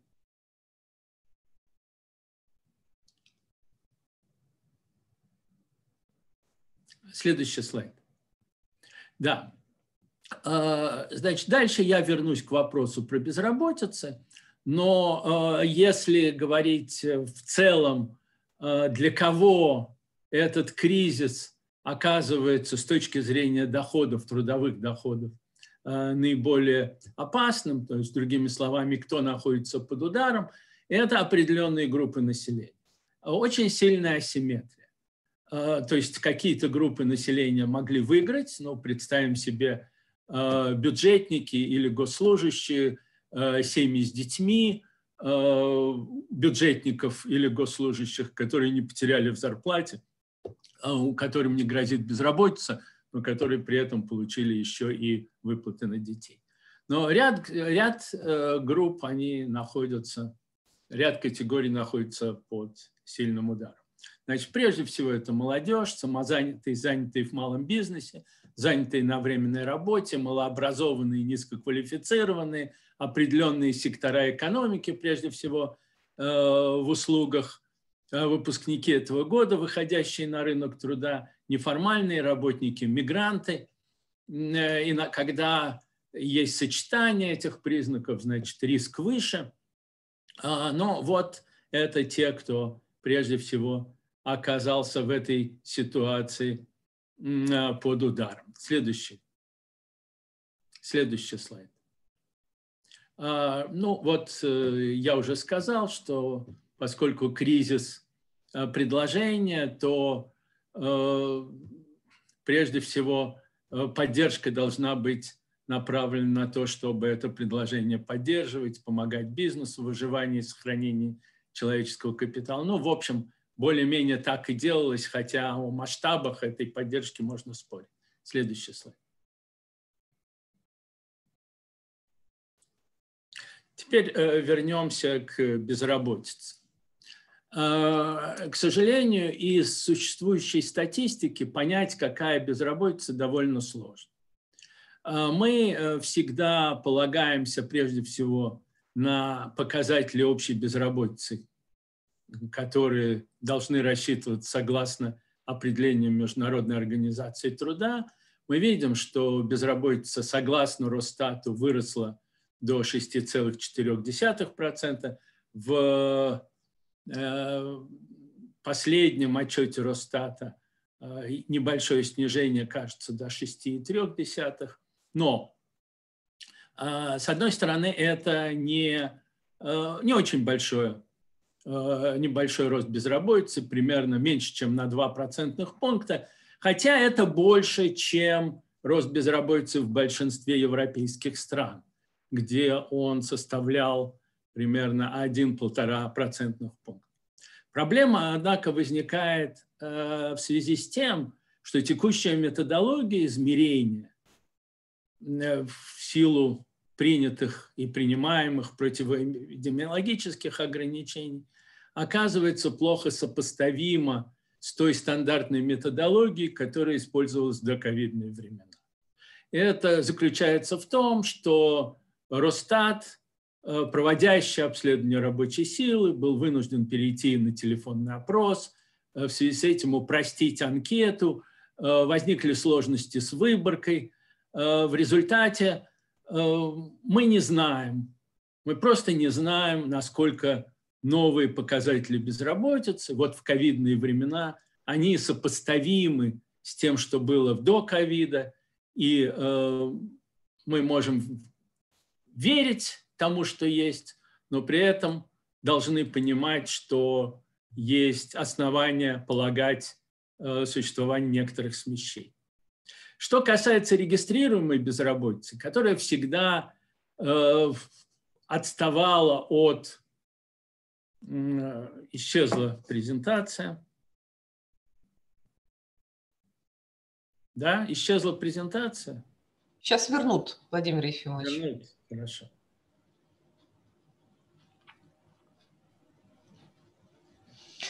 Владимир Ефимович, пока вас возвращают презентацию, а в девятом году у нас был больше рост безработицы? вот моя э, вдруг вылезла, поэтому,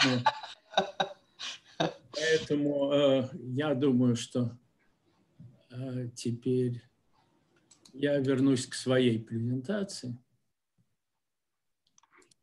Э, вот. А, я прошу прощения, Лена Николаевна, какой вопрос? Я, э, пока вы говорили про безработицу, что она не очень большая, извините, что перебила вас, но думала паузу заполню. В девятом году был больше рост? Да, был больше. больше. Да, был больше. Был больше. Э, значит, особенностью российской безработицы всегда был большой разрыв между регистрируемой безработицей и безработицей, которая определяется обследованиями. И разрыв между ними всегда составлял там 4-6 раз, в среднем, наверное, 4-5 раз. И это определялось прежде всего низким пособием, отсутствием стимулов к регистрации. И э, в этой ситуации, в ситуации с ковидом, э, пособие было, было повышено, Э, доступ к нему облегчен, и это, безусловно, стало одним из факторов, стимулировавших регистрацию. И в результате регистрируемая безработица выросла в пять раз. Э, в любом случае уровень безработицы остается умеренным. При отсутствии новых ограничений он, по-видимому, будет снижаться. Но какой он, э, на мой взгляд, мы не можем оценить. Вот на этом слайде верхняя синяя линия, она показывает общую безработицу э, по методологии МОД. Эм, оранжевая линия, которая идет внизу, она показывает регистрируемую безработицу. Мы видим, что до марта между ними огромный разрыв, э, здесь в миллионах человек, а потом они резко сближаются. Э, и э, вместо пятикратного разрыва разрыв становится очень незначительным, что-то такое 1,3 раза. И вот э, желтая линия, которая идет из верхнего левого угла вот так вниз, плавно в правый нижний, она показывает соотношение по правой оси. И возникает вопрос, либо, либо Э, регистрируемая безработица, она абсорбировала в себя всю безработицу, которая была в общей. Либо значительная часть общей безработицы в силу обстоятельств, связанных с методологией, и не только с ними, оказалась, оказалась вне радаров, радаров этого инструментария, вне радаров Росстата. Тогда она выше.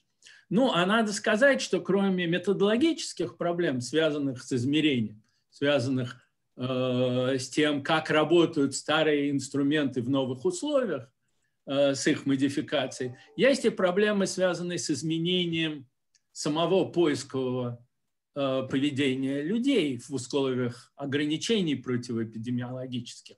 Я напомню, что безработный – это человек, который не работает, который ищет активно, и который готов приступить.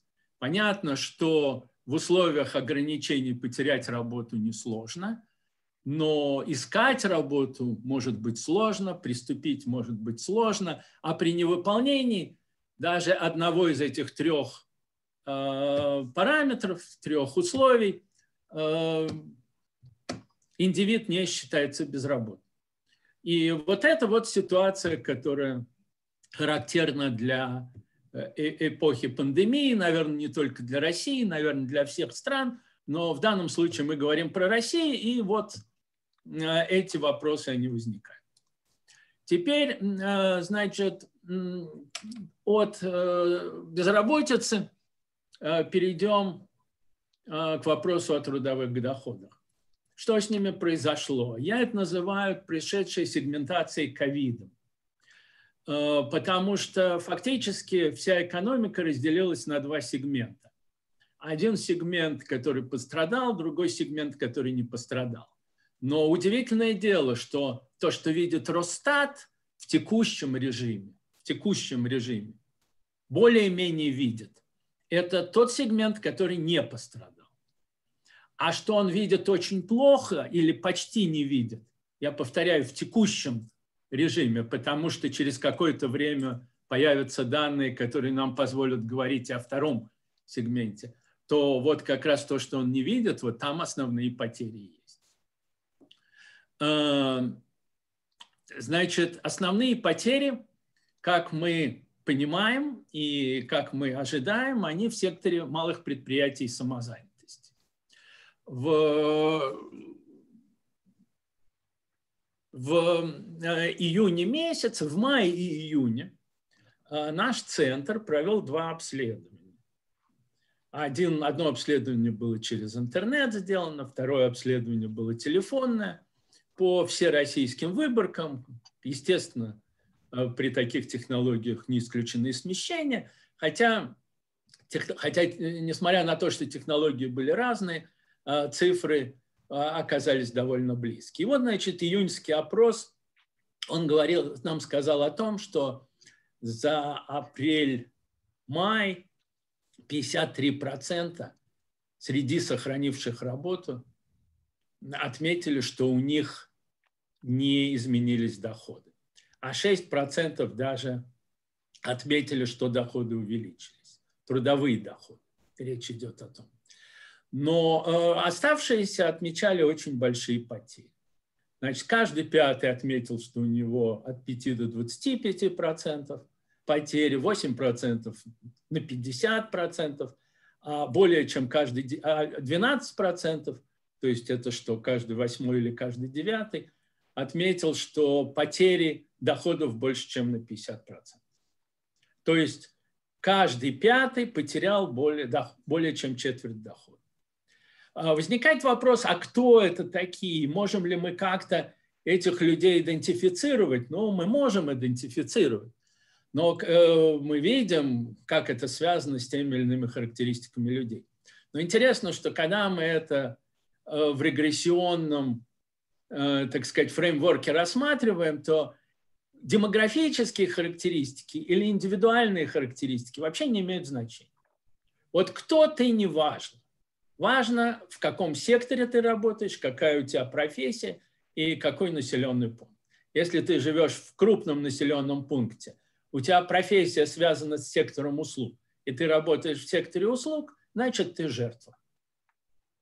А мужчина, женщина, молодой, не молодой, есть дети, нет детей, Э, образованный, необразованный, это все оказывается не значимо. Значит, вот э, я возвращаюсь вот к вопросу о э, занятости и о доходах. Вот все, вся занятость у нас, вот первый столбец, это примерно 71-72 миллиона человек. Э, мы знаем, сколько работает в юридических лицах, в корпоративном секторе – сколько из них на крупных средних предприятиях. И вот это, ну, понятно, что крупные и средние предприятия – часть корпоративного сектора, а разница – это в основном малые предприятия. И здесь мы что-то видим. Вот я говорил о том, что Росстат э, с одной стороны улицы видит, а с другой стороны улицы он не видит. Вот э, это находится более-менее на освещенной стороне улицы. А то, что вне крупных и средних предприятий или вне организаций, тем более, это, видимо, очень плохо. А кто это такие? А это э, вот э, прежде всего те сектора, которые пострадали. Значит, синие столбики – это вне крупных и средних, то есть весь некорпоративный сектор плюс малые предприятия. А оранжевые столбики – это а, некорпоративный сектор, то есть это индивидуальные предприниматели, самозанятые, люди, которые работают у других физических лиц, которые работают у индивидуальных предпринимателей. И вот в этих вот выбранных наиболее пострадавших секторах здесь показаны численности занятых. И мы видим, что они очень большие. Но это не значит, что эти люди потеряли зарплаты, потеряли занятость, хотя, наверное, многие потеряли занятость. Вопрос в том, как я говорил, как мы это можем ухватить, но э, они э, потенциальные потерятели, если так можно сказать, доход. Э, значит, вот текущая статистика Росстата, э, я уже тоже об этом говорил, она очень плохо это все показывает. на индивидуальном уровне. Вот цифры из последних статистических выпусков. Значит, данные о, данные о заработной плате, реальная заработная плата, месяц, этот год, месяц к месяцу прошлого года, красная линия, мы видим падение, вот оно. Мы видим падение, но оно относительно небольшое. А, если же мы посмотрим, что происходило с товарооборотом, то вот оно, он, падение, падение гораздо больше. И динамика реальных доходов э, семей, она очень близка к динамике товарооборота. Но это означает, что тот невидимый сегмент, пока невидимый сегмент занятых для Росстата, он как раз и понес основные потери, потому что здесь, когда мы говорим про а, товарооборот, платные услуги, то это относится э, к семьям, а не к индивидам. А, вот э, недавно было опубликовано э, такое вот исследование. Я не проверял сам цифры. Оно было сделано на базе налоговой статистики. Отмечается в нем, что во втором квартале 2020 года работающее население России не досчиталось 841 миллиард рублей доходов, что соответствует 16 миллионам среднемесячных зарплат. И сокращение фонда оплаты труда произошло в основном не из-за увольнений, а в результате применения неполного рабочего дня или сокращенной рабочей недели. То есть речь идет о том, что потери трудовых доходов, они связаны не с недоиспользованием рабочей силы в виде безработицы, а с недоиспользованием рабочей силы в виде сокращения рабочего времени. А, что, что впереди, что ждет? Ну, мне кажется, большая неопределенность. А, пандемия никуда не отошла, не исчезла.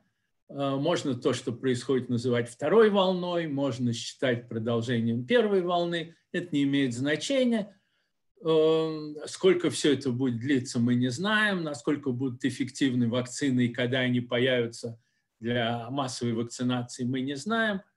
Но при отсутствии новых карантинных мер, по-видимому, будет постепенное снижение уже имеющейся безработицы и э, восстановление доходов, не восстановление, но движение к тому уровню доходов, которые были до ковида э, вот э, э, э, то, что мы понимаем. Но есть еще и другая вещь, что пандемия, она повлияла на наши предпочтения, на наши потребительские поведения.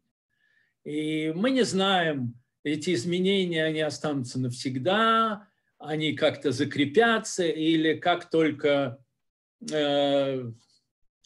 как только пандемия уйдет, мы будем так же, как и раньше, летать на самолетах, мы будем так же, как и раньше, ходить на массовые развлечения, мы будем также э, потреблять услуги, как раньше, или как-то по-другому. И вот эти вот э, изменения в потребительском поведении, в предпочтениях, которые очень трудно прогнозировать, они добавляют в общую неопределенность. Ну и, конечно, то обстоятельство, что статистика явно не приспособлена к вызовам типа нынешнего, и она освещает э, одну сторону улицы, но плохо освещает, но практически, практически не освещает другую, это тоже осложняет и анализ, и Э, принятие, формулировку э, мер политики. Э, наверное, статистика никогда одинаково все не освещала, но в данной ситуации этот контраст еще более очевиден, чем раньше, и, наверное, цена этого контраста тоже выше. Ну вот, пожалуй, все, что я хотел сказать. Спасибо. Владимир Ефимович, большое спасибо за выступление. Мне кажется, получился даже не развернутый комментарий, а скорее дополняющий доклад, который во многом раскрывает те механизмы динамики доходов, о которых шла речь в основном докладе. Я бы тоже хотела сказать несколько слов к сожалению, мне кажется, очевидно, что оценка последствий пандемии и не только самих последствий, но и реакции на нее со стороны государства еще достаточно долго будет в центре внимания исследователей. Тут еще очень много вопросов, о которых нам придется говорить. А, и сегодня вот я видела в чате, что было много методологических вопросов о том, как моделировать доходы, как моделировать эффект разных мер, как моделировать обращение населения за этими мерами. А, но я в данном случае хотела бы чуть больше акцентировать те тенденции, которые нам показывают результаты первого доклада.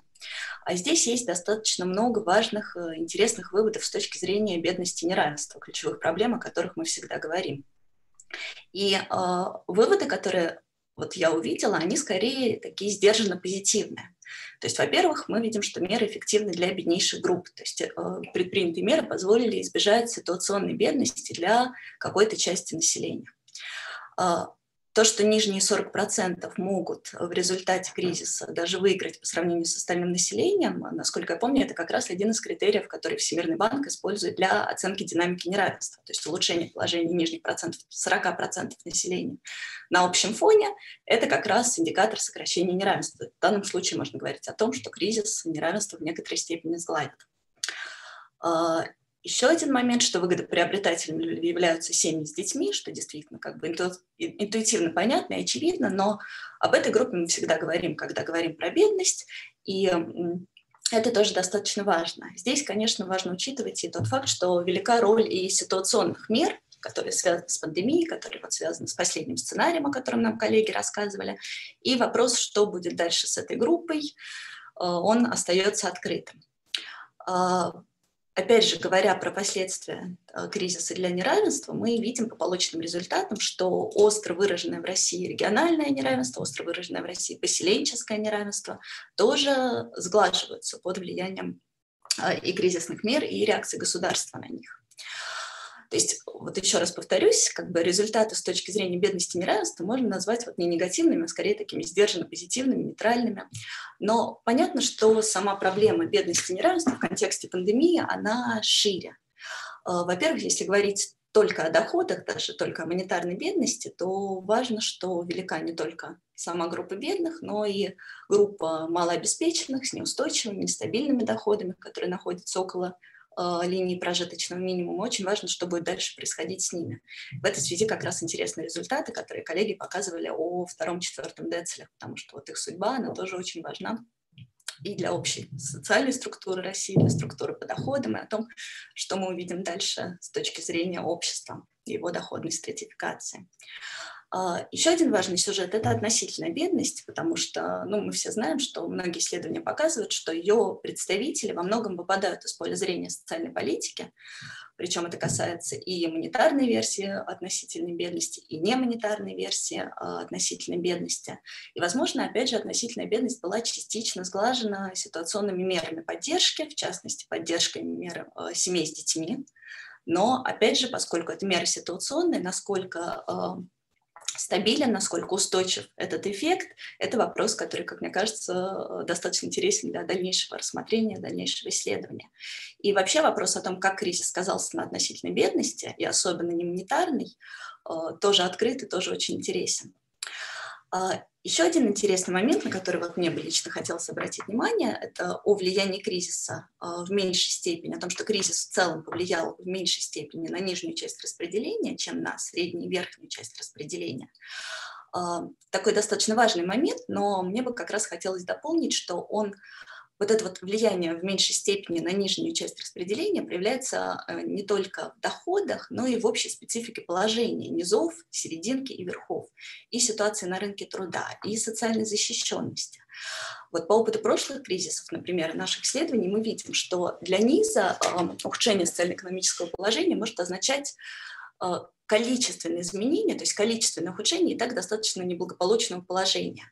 Но для середины и более благополучных слоев такие изменения масштабные могут приводить к качественным изменениям в их положении и в качестве, и в образе жизни. И для э, и в том же там положении на рынке труда, а это очень важно для э, того вектора выхода из кризиса, который будет возможен для страны, потому что это будет определять доступные для них стратегии адаптации. А у них как раз есть возможный спектр выбора разных стратегий э, и готовность к самостоятельным действиям и так далее. И вот эта ситуация в какой-то степени, ну, неопределенность этой ситуации, то, что мы не совсем пока еще понимаем, как э, последствия, не монетарные последствия кризиса распределились по населению, и что они могут как раз быть распределены не прогрессивно.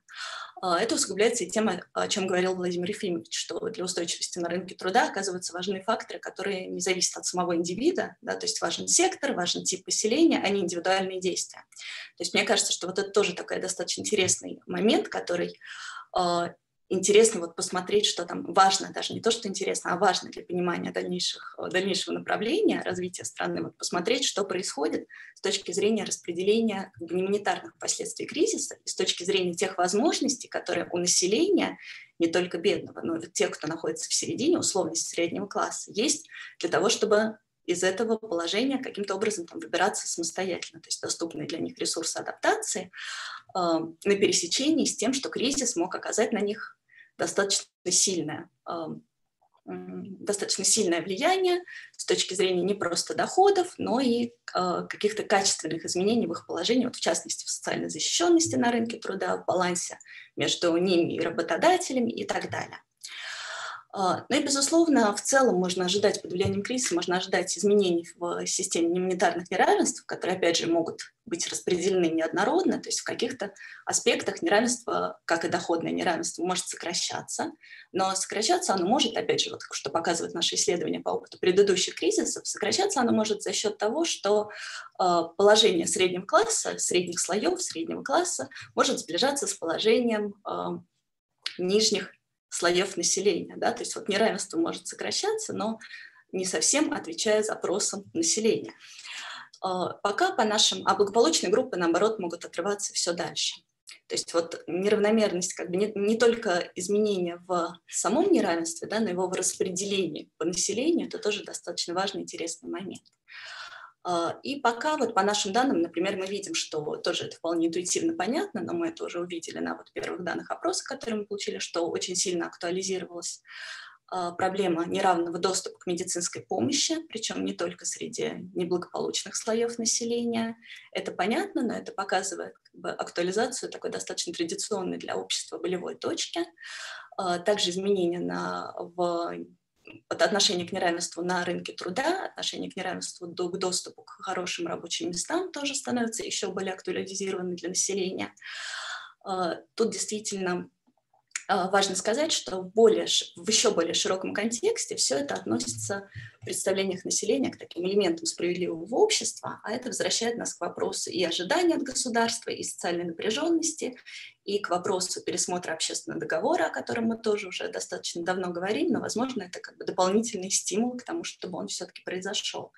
И также ставит вопрос о долгосрочных мерах и общем векторе развития социально-экономической политики, то есть не только ситуационных мерах, но и э, и мерах по выходу из кризиса, но и общем векторе развития социально-экономической политики дальше.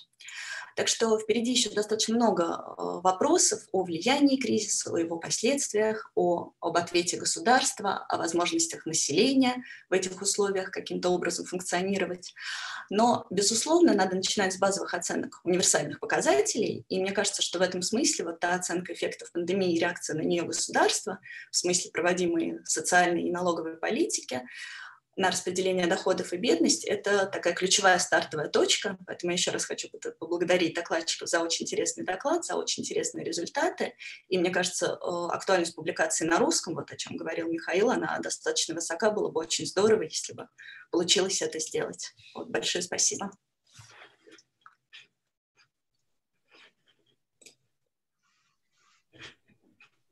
Спасибо. Спасибо, Светлана, большое. А, коллеги, у нас есть время для общей дискуссии. А, есть ли желающие а, задать вопросы еще или выступить с комментариями? И у меня просьба, поднимайте руку, в, там есть возможность у вас вот, нажать значок «Поднять руку», Так, ну вот я вижу Сергея Николаевича, который поднял руку в экране, а, и вот прошу дальше, да, вот я вижу Михаил, дальше давайте Сергей Николаевич, потом Михаил Матвеевич. Я могу уступить, вот потому что я позже пришел, да, Э, и у меня на самом деле вопрос, наверное, или соображения какие-то относительно Владимира Ефимовича. Да? Э, Володь, я с большим удовольствием посмотрел на твои графики, да, вот особенно по потребительскому рынку. Так сложилось, не знаю, тут э, есть Алина или нет, Алина Игоревна Пешняк. Я только что сделал статейку как раз про потребительский рынок. И понятно, вот этот апрель, который ты показал, вот этот дикий провал, но мне кажется, Володь, просто вот порассуждать на тему, а, собственно говоря, что повлияло.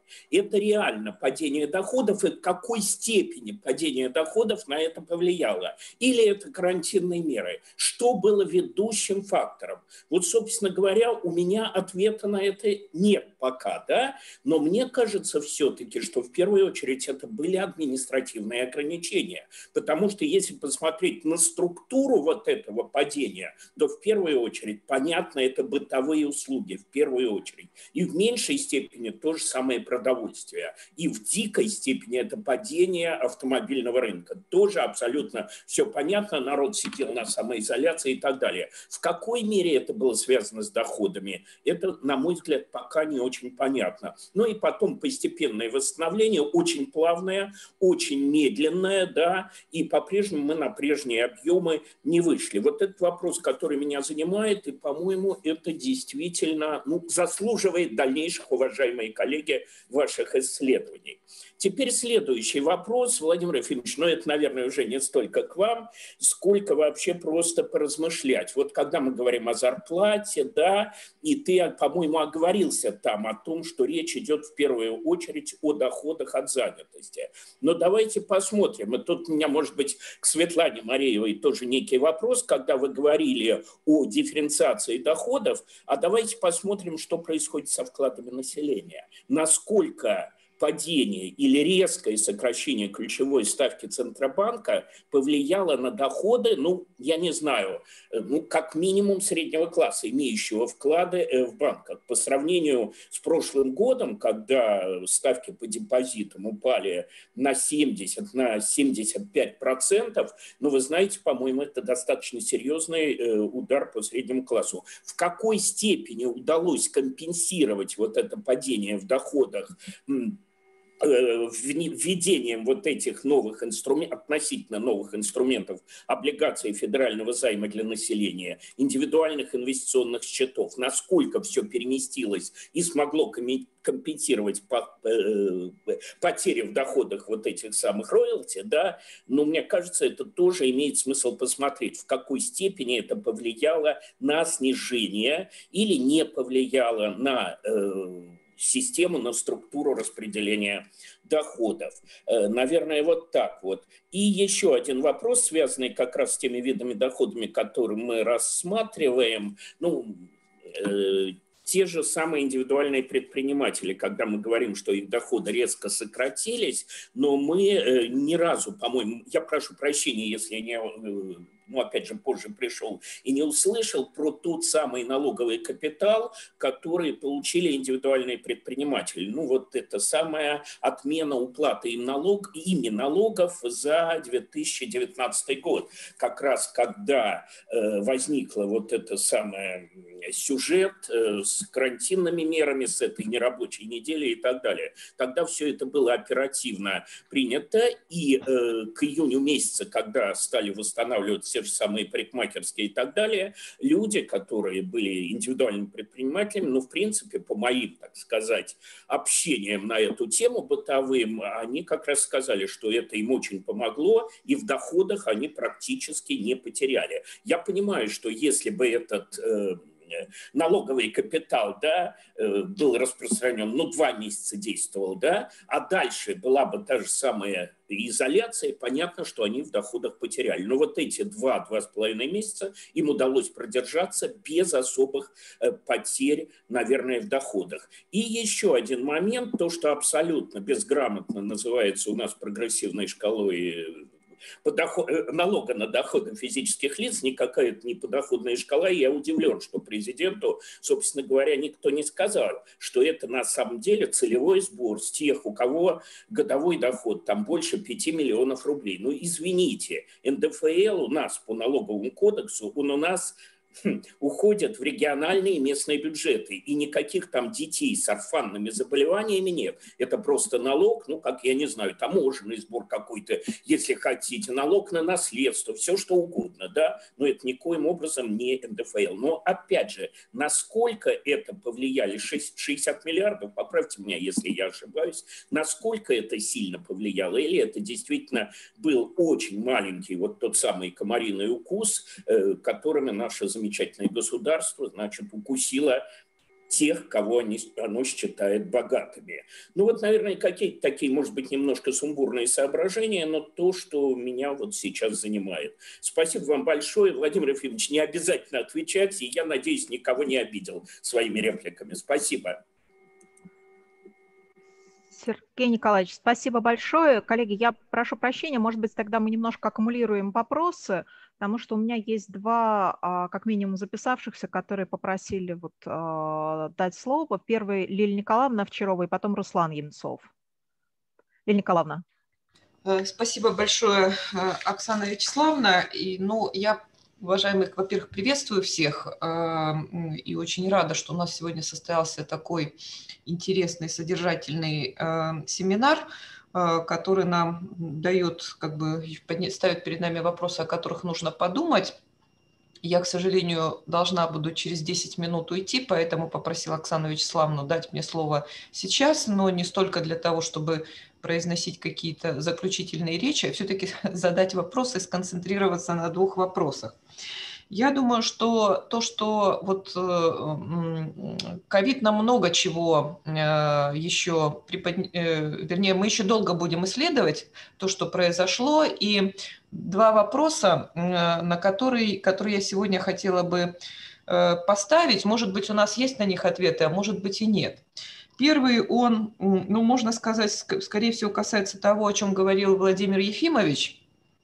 Это вопрос о том, а, как, какие последствия будут в связи с тем, что значительная часть населения ушла работать на дистанционную работу. А, вот э, э, это э, на самом деле, как бы мы знаем, что этот процесс очень долго сдерживался, очень многие работодатели были негативно настроены к нему. Сейчас они с ним были вынуждены войти в дистанционную работу. И, ну, по крайней мере, я точно понимаю, что у нас в университете есть такое ощущение, что оценка работника со, со стороны работодателя на понимании того, кто хорошо работает, а кто плохо, она изменилась у руководителей. И э, является ли это таким, э, скажем так, каким-то элементом структурной безработицы или, может, как, э, какой-то другой, который, э, вернее, сигналом к э, структурной безработице, которая заставит работодателей пересмотреть отношение к, к работникам. А может, это на самом деле станет эффектом не структурной, а циклической безработицы, потому что приведет к, к высвобождению большого или не очень большого количества людей, а может мы все это переварим, потому что точно, скорее всего, будет отскок какой-то после того, когда всех привьют и перестанут люди бояться общаться с друг с другом, э, и мы, скажем так, увидим, что на самом деле все эффекты, связанные с дистанционной работой, Э, они преувеличены.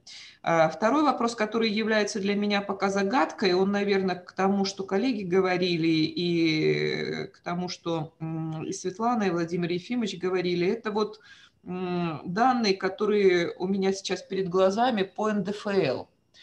А, вот Владимир Ефимович, мы тут с ним недавно общались на, по другому сюжету относительно того, что хорошо бы это посмотреть. Я попросила коллег дать мне эти данные. Более того, э, значит, нырнула в налоговую инспекцию э, за данными по сентябрю. Они еще не совсем э, официальные, они тоже с этим разбираются, но на самом деле э, сентябрь этого года к сентябрю прошлого прирост НДФЛ 13%. То есть это говорит о том, что налогооблагаемый фонд оплаты труда увеличился на 13%. Что это за история такая, я пока не нахожу ей объяснения, кроме, может быть, одного сюжета, что все-таки в ну, как бы мы понимаем, что к поддержке малого и среднего бизнеса у нас имеют э, доступ строго определенные люди. Мы понимаем, что фильтрация проходит э, в конце концов до того, что когда деньги доходят до конкретных э, предпринимателей или малых бизнесменов, то это достаточно узкий круг людей, которые получают доступ к этой поддержке. возможно, в данном случае сработал эффект того, что использовали вот э, те меры по поддержке э, бизнеса, которые были предложены для того, чтобы легализовать частично неформальную занятость, которая была. Может, что-то другое. У меня пока других мыслей, честно говоря, нет на эту тему, но я понимаю, что тут есть немножко инфляции, но все-таки 13% это достаточно много. А, поэтому, если у кого-то вот э, есть комментарии по, по этим вопросам, буду очень рада их услышать. А может быть, мы вернемся к обсуждению этих вопросов э, на других, э, сем, других наших заседаниях семинара, потому что я думаю, что мы еще ковид не подняли, Оксана Вячеславовна, полностью, и Еще э, как бы вот коллегам хочу сказать спасибо. Я думаю, за... что он неподъемен, к сожалению. Да, но это будет э, достаточно долго давать информацию для наших исследований во всех отношениях, которые есть. Э, в частности, еще один сюжет, который в общем, тревожит тех, кто следят за социальным самочувствием, что падение в сентябре Э, социального самочувствия гораздо хуже, э, и началось оно до ковида, нежели это было вот в период, э, скажем так, того, когда мы с этим столкнулись. Или тогда просто от испуга не успели еще расстроиться, а, или, значит, что-то другое произошло еще в сентябре. Еще раз хочу сказать, что это не связано, то есть это, эти результаты получены до того, когда начал, начался рост Э, числа заболевших. Э, поэтому вот э, есть еще что поисследовать и есть еще какие выводы здесь сделать. Ну, повторяю, что благодарна коллегам, которые озвучили сегодня свои материалы, потому что есть оценки влияния на бедность Росстата, полученные по методике Росстата. Коллеги правильно говорят, что, судя по всему, они плохо эти результаты учитывают э, тот сегмент, где произошли максимальные изменения, и поэтому э, то, что сегодня озвучено по итогам второго квартала, это достаточно оптимистичная оценка. Э, поэтому думаю, что на этом я закончу, но хочу поблагодарить, если не, не получится в конце сказать заключительные слова, не смогу задержаться, докладчиков. И дискуссантов и участников семинара за тот интересный разговор, который у нас сегодня состоялся. Спасибо, Оксана Вячеславовна. Спасибо, Лилия Николаевна. А, я бы хотела предоставить слово Руслану Имцову, а потом, наверное, мы дадим возможность докладчикам и дискуссантам, которым задавали вопросы, ответить. И я видела, что помимо этого вот а, Анна Лукьянова и Михаил Матецин а, поднимали руку для дискуссии. Но вот предлагаю сделать такой порядок. Руслан, потом возможность ответить, чтобы не накапливать слишком много комментариев и вопросов. Спасибо большое, Оксана Вячеславовна. Спасибо за приглашение на семинар э, и спасибо докладчикам и выступающим всем. Э, очень содержательное, очень богатое выступление.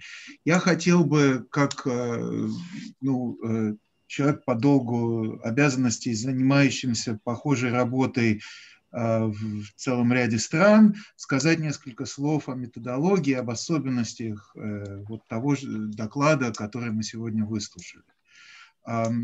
Методология, которую команда Сэма, э, Миша и Даша использовали, она, пожалуй, одна из самых продвинутых в мире. К сожалению, в большинстве стран мира мы не можем сделать ничего подобного. То есть российская аудитория и российские специалисты должны понимать, что вот такие результаты являются во многом уникальными. И Э, являются, ну что ли, на, на одним из наиболее продвинутых того, что вот, вот сейчас наука предложить может. Могут. Поэтому большое спасибо за, за такую работу. Да. А что это, Наташа? За уникальные такие вот результаты. И большое спасибо за э, то, что э, э, содокладчики и дискуссанты увидели в этом действительно большой вклад в наши дискуссии. Я бы хотел остановиться на, вот, на эмпирике, которая чрезвычайно богатая, и слайды, которые представлены, и сам доклад, они содержат очень большой материал для размышления. Владимир Ефимович начал размышлять на эту тему, я продолжу. И хотел бы э, затронуть три пункта основных. А одно из таких выводов, которые напрашиваются из этого исследования и на которые э, обратила внимание Светлана, заключается в том, что вот э, комбинация кризиса и ответных мер а, оказала такое прогрессивное воздействие, снизила неравенство и, э, возможно, привело к снижению бедности. Я бы хотел поспорить с этим и, и э, обратить внимание на несколько вещей. Во-первых, большинство из мер, которые вот представлены и моделированы, и в презентации, если посмотреть внимательно, об этом сказано, и в докладе тоже, они были концептуализированы или что ли придуманы до кризиса и шли в основном в русле того развития социальной политики, которое было э, принято еще до кризиса, и к которому приложила руку, я думаю, Высшая школа экономики тоже. И эти меры направлены на переориентацию системы социальной защиты на семьи с детьми.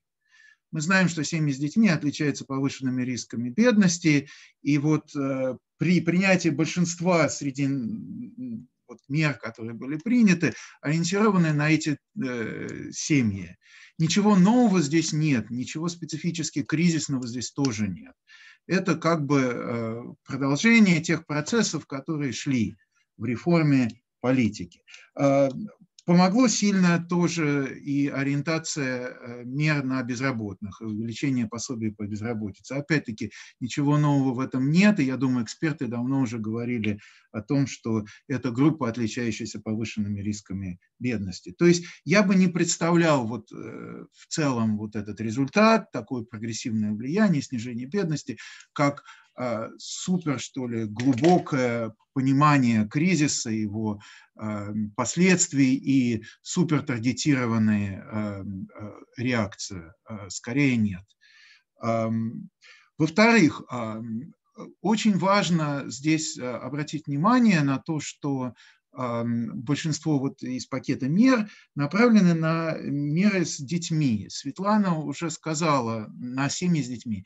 Светлана уже сказала, что важно смотреть на много, э, много мультидименци... много как бы аспектные вопросы измерения бедности, не только концентрироваться на доходах. Мы знаем, что дети, особенно дети школьного возраста, одна из групп, которая сильно была затронута кризисом и накопление человеческого капитала в ходе а, вот э, этих а, изменений при прерванного учебного года и так далее, оно э, приведет и привело уже к долгосрочным последствиям. Мы это не мерим в наших э, простых мерах бедности, когда мы смотрим на текущие доходы. И я бы хотел обратить внимание докладчиков на то, что об этом следует сказать, и, наверное, на это следует нацелить будущую работу. Не обязательно тем, кто э, это делает. Я думаю, что и у Миши, и у Даши достаточно большая а, программа работы, но а, Высшая школа экономика, которая очень серьезно относится к проблемам человеческого капитала, наверное, должна подумать серьезно, как э, этот аспект принять во внимание. А, третье, э, комментарий – это комментарий о результате, о прогрессивности. Если вот мы посмотрим на 19 и 20 слайд и на серию графиков, которые там есть, то мы увидим, что во многом вот такая прогрессивность связана с предпосылками или с теми допущениями, которые команда сделала.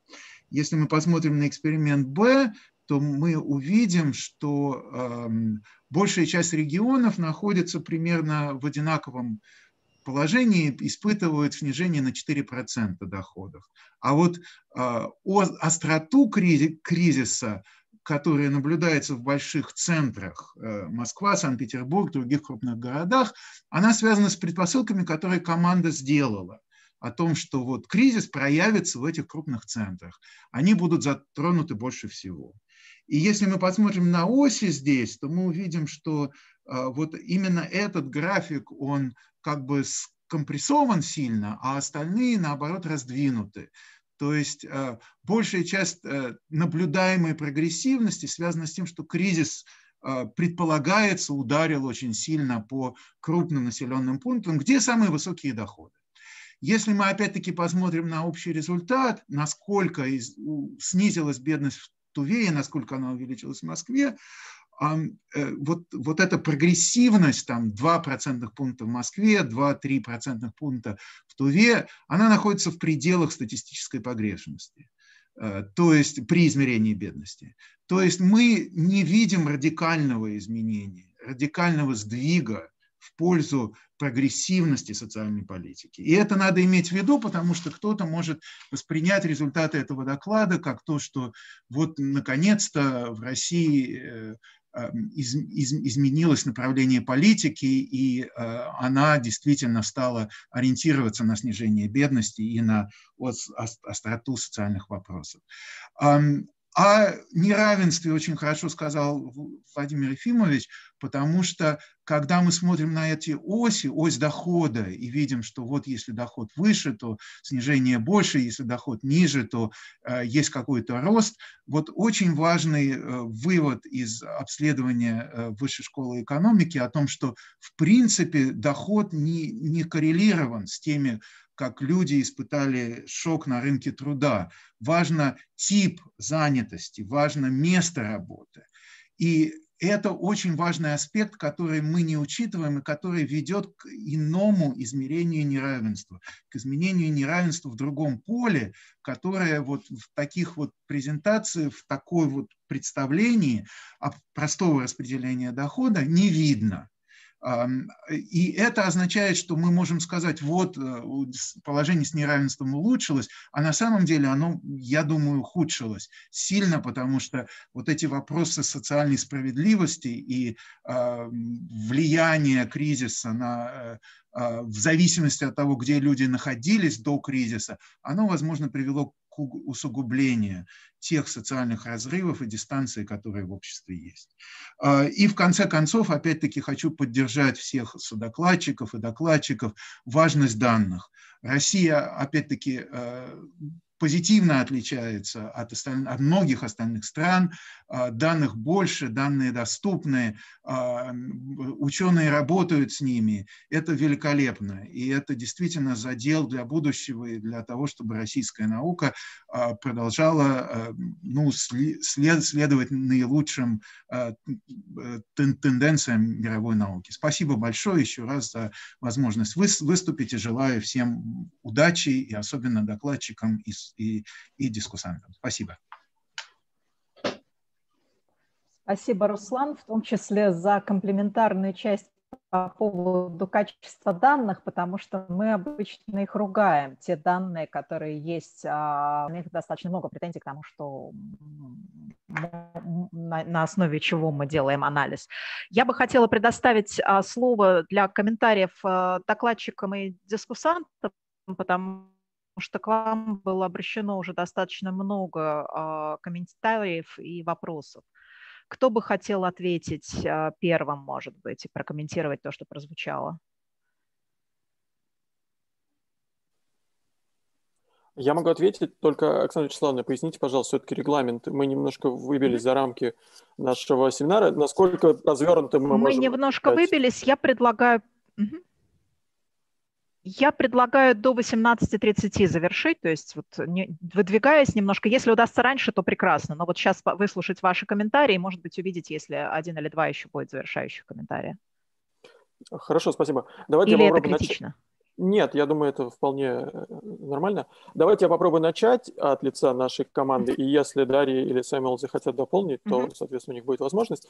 Вот, а я бы хотел в первую очередь поблагодарить всех дискуссантов и других выступающих за очень ценные и полезные комментарии, которые вы нам дали.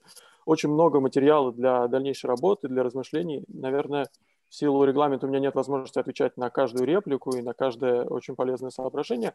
Но я бы хотел поделиться несколькими мыслями, на которые меня натолкнула наша дискуссия.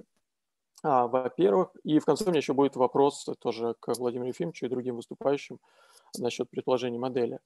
Первое, а, действительно, вот в результате нашего семинара у меня у самого в голове возник философский вопрос. То есть получается, что меры а, политики, которые были направлены на поддержку пострадавших в результате кризиса, они оказали такое как сказать, неоднозначный эффект. Они, получается, были сосредоточены на тех, кто действительно наиболее бедный, то есть семьи с детьми, одинокие родители, то, что Руслан говорил, и другие, это те семьи, для которых известно, что в России самые высокие риски бедности.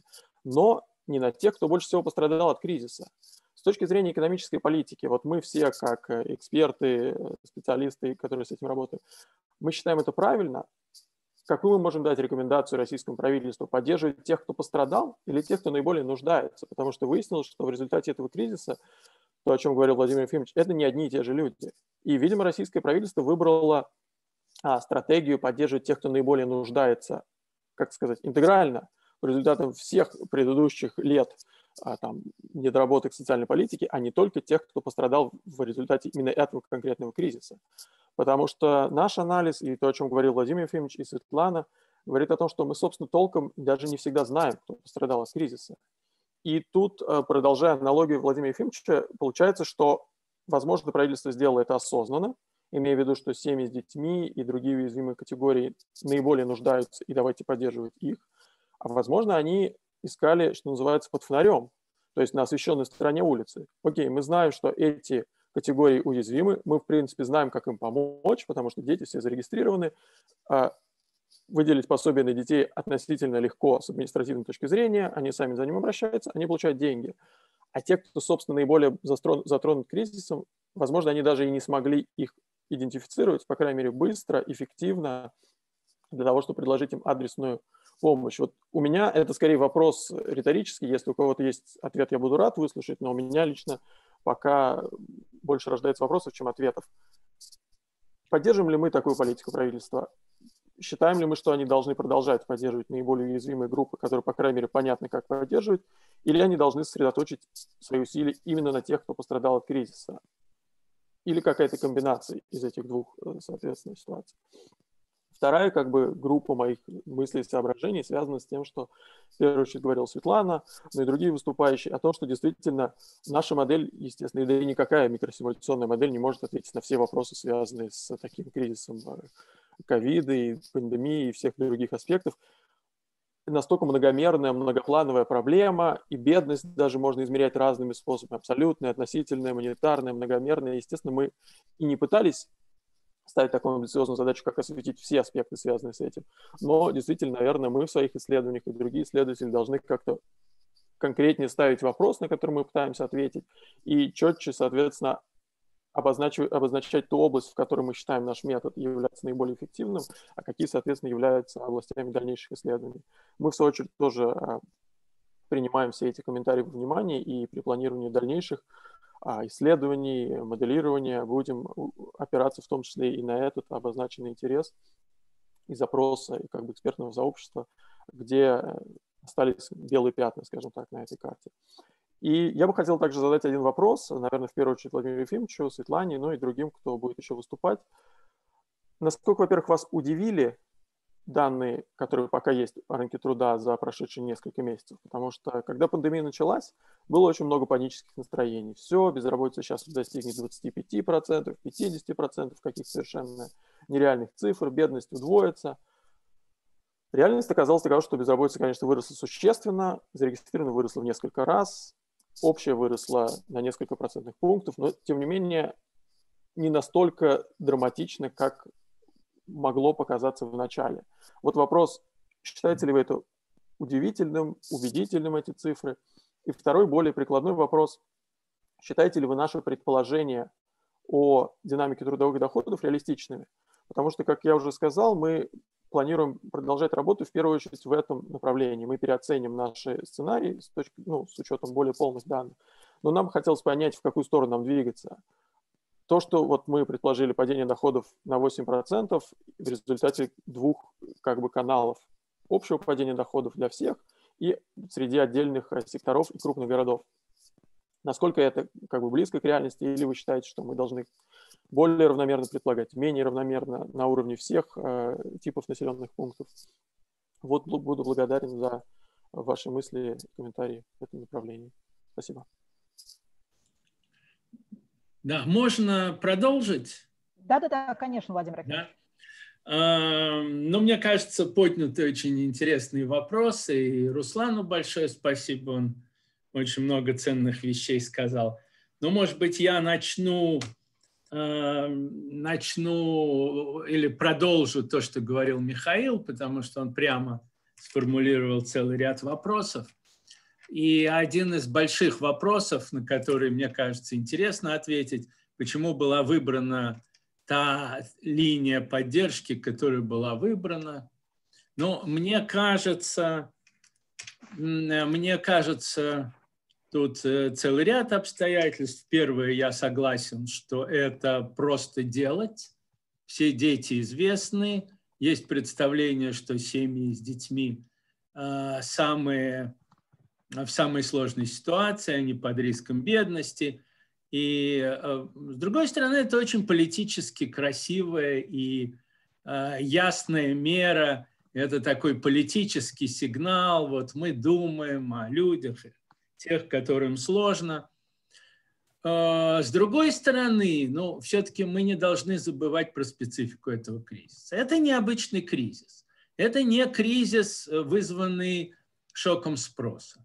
Это кризис предложения. Мы своими руками во всех странах взяли и закрыли бизнес и посадили людей дома. Но это примерно то же самое, что случилось землетрясение, Э, пришло цунами или что-то такое. К спросу не имеет никакого отношения. Мы перекрыли предложение. Люди не могут работать. Они сидят дома. Отсюда, естественно, падение доходов. Здесь ответ э, Сергея Николаевича Смирнова. Э, и когда все это разворачивалось, мы хорошо помним, что все страны обсуждали, как помочь тем, кто потерял доходы из-за вот этих вот карантинных мероприятий. Но если у нас кризис э, такого рода, нам очень важно, что когда кризис прекратится, ну, так сказать, сойдет острота, чтобы все те бизнесы, которые были насильно остановлены, они немедленно смогли работать дальше. Нам нужно было сохранить matching capital, human capital. Потому что вот этот вот matching capital, соединение людей, обладающих определенным человеческим капиталом, с теми технологиями, которые уже работают, в которые проинвестированы и которые эффективны, и это залог будущего восстановления. Если этого не произойдет, если эти бизнесы все умрут, погибнут, исчезнут, ну, понятно, восстановление будет а, а, будет самое сложное. И исходя из этой логики, нужно поддерживать максимально тех, кто с этим связан, чтобы они пережили эти, чтобы они потом могли выйти и начать действовать. И многие европейские страны, мы знаем, таким образом действовали. Значит, у нас, в общем, фактически пошли по другому пути.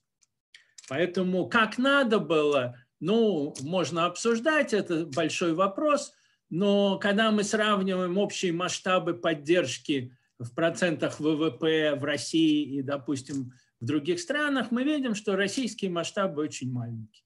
Очень маленькие. Это означает, что ну, мы шли другим путем. Насколько это эффективно, насколько это долгосрочно эффективно, ну, можно обсуждать, спорить и так.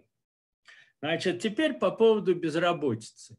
Но я давно занимаюсь э, э, российским рынком труда, и я, и мои коллеги, и мы всегда говорили о том, что если случается в России любой кризис, не смотрите на безработицу. Она вам ничего не скажет, смотрите на доход. И э, в данном случае э, то же самое, но в данном случае то же самое не только у нас, а во всем мире. Ожидание, э, что будет большая безработица, я, я не знаю, откуда оно идет. Да, оно было такое везде. Но единственные страны, где э, рост безработицы в кризис э, было большим, это было Соединенные Штаты и Канада. Почему? Ну, потому что в Соединенных Штатах recall unemployment. Те, кто у нас находятся в длительных отпусках административных, они не считаются безработными. А в Соединенных Штатах они считаются. Но уберите их из uh, unemployment, вы получите те же самые там 1, 1,5-2 процентных пункта. Сейчас uh, э, NBR выпустила целый ряд Э, papers на эту тему э, разделяется безработица э, у тех, у кого нет работы, и безработица у тех, у кого работа есть. Это звучит странно, но это так, потому что recall unemployment – это вот такая вот история. Но у нас-то они не считаются безработными. И естественно совершенно, что как только ограничения снимаются, это recall unemployment резко идет к нулю. Поэтому э, как бы вот здесь такая история, но э, вся политика везде, во всем мире, во всех странах, э, она с самого начала была направлена на то, чтобы сохранить matching capital. И когда мы читаем ведущих специалистов по рынку труда в Европе и везде, ну, об этом говорят. Ну, а дополнительно российская специфика, если мы говорим про Россию ну, не увольняют. Поэтому рост безработицы, который может быть, он может быть не за счет увольнений. Он может быть за счет э, тех, кто перестал быть самозанятым. Он потерял бизнес, потерял клиентов, ликвидировал свой ИП и пошел в безработный. Э, поэтому как бы роста безработицы мы не ждали. Мы не ждали. Падение доходов, ну да. Ну, это в этом смысле, это старая история. И... Значит, что касается предположения о динамике трудовых доходов, мне кажется, это сложный вопрос, его надо обсуждать. Потому что мы не знаем до конца, как распределяются потери по группам. Мы не знаем. На тех данных, которые у нас в данный, данный момент есть, мы никакие выводы делать не можем.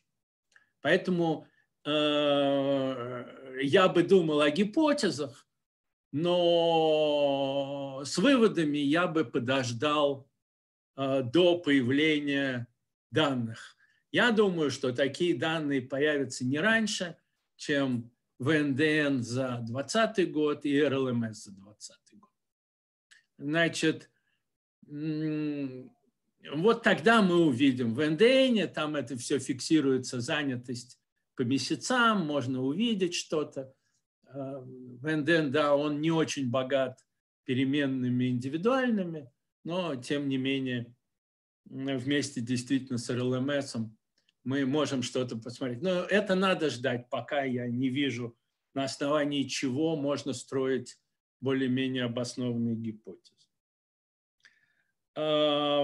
Я хочу ответить на вопрос Лилии Николаевны про дистанционную занятость, это большой, как мне кажется, большой блок вопросов и очень важно. Владимир мне кажется... минут, хорошо, нам заканчивать надо будет. Да, ну хорошо, я очень быстро. Мне mm-hmm. кажется, что э, очень многие люди устали от этой дистанционной занятости. Как только э, закончатся ограничения, они скажут, ну, слава богу, больше никакой дистанционной занятости. Во всяком случае, я к этому сам, я к этому сам близок. Ну, э, просто ради, такого, э, ради такой смешной истории у нас был семинар в Zoom с сотрудником Всемирного банка, и он делал доклад у нас на семинаре. И во время семинара, а он выступал из дома, на его компьютер залез его огромный кот, лег, хвостом закрыл камеру, и потом он пять минут сражался с этим котом, по который не хотел уходить. Ну, вот это вот вопрос об эффективности. Эм, да, ну и э, мне кажется, за этим надо следить, это нужно изучать. Э, есть э, у дистанционной занятости не только проблемы с точки зрения эффективности, но и с точки зрения нарушения вообще всей баланса, всего баланса нормальной жизни дома. Особенно у людей небогатых, с плохими жилищными условиями, да еще и в больших семьях с детьми, а также с собаками и кошками, которые не всегда э, понимают специфику дистанционной занятости. Вот. И еще раз всем спасибо большое, было интересно. Большое спасибо, Владимир Ефимович. А, маленькие дети тоже не очень понимают специфику дистанционной занятости, и вопрос, безусловно, важный. Мне кажется, в общем, он требует обсуждения и не одного на различных площадках. Коллеги, а, вот оставшиеся докладчики хотели бы сказать пару слов. Нам надо в течение 5-6 минут завершить работу, но, может быть, у Сэмюэла или у Дарьи или у Светланы есть желание сказать несколько коротких слов в заключении прозвучавшей здесь дискуссии.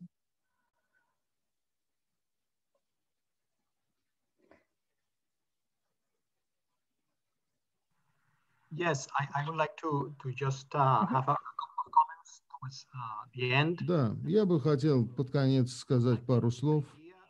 Я думаю, что вот сама мысль о хронической и приходящей бедности – это очень важный вопрос. Он фундаментальный. Его надо помочь, и России надо помочь при формулировании своей дальнейшей политики, условия а, существования бизнеса, преодоления бизнеса, чем оно вызвано, либо большой семьей, большим количеством детей, либо плохим человеческим капиталом. Что касается приходящей, так сказать, бедности из-за экономического кризиса или пандемии, это другое. И в, обсуждении было сказано, что нет у России институ, институт, институтов для того, чтобы решать вопросы вот этой приходящей бедности возникает вдруг кризис, вдруг он разразился, и тогда начинается спонтанная реакция в зависимости от экономического цикла, от э, подчастка от экономического цикла, какие-то задействуются механизмы в Соединенных Штатах, в других есть страховые механизмы,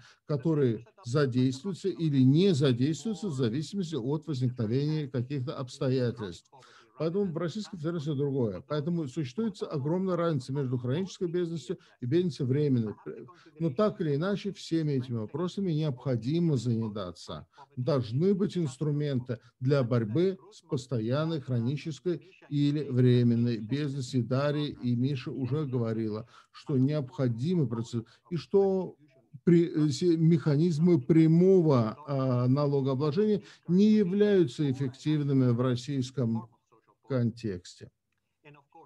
И, конечно же, необходимы массивы данных. Чем больше данных у нас будет, тем будет лучше. Но так или иначе мы можем уже задействовать и имеющиеся данные для прогнозирования краткосрочных последствий. И нам очень важно понять, каким образом пандемия оказывает влияние на разные социальные группы в разных, во многих странах мира. И гостиничная индустрия и услуги, естественно, подвержены больше, чем другим, больше, чем сельское хозяйство и больше, чем другие отрасли экономики. Нам нужно правильно понять, как пандемия оказывает воздействие на развитие экономического кризиса, на бедность и на другое. Хотел бы передать слово институту и, и поблагодарить вас за организацию этого интереснейшего семинара. Спасибо большое, Сэмэл. А, коллеги, я думаю, что мы будем завершать сегодня невероятно интересную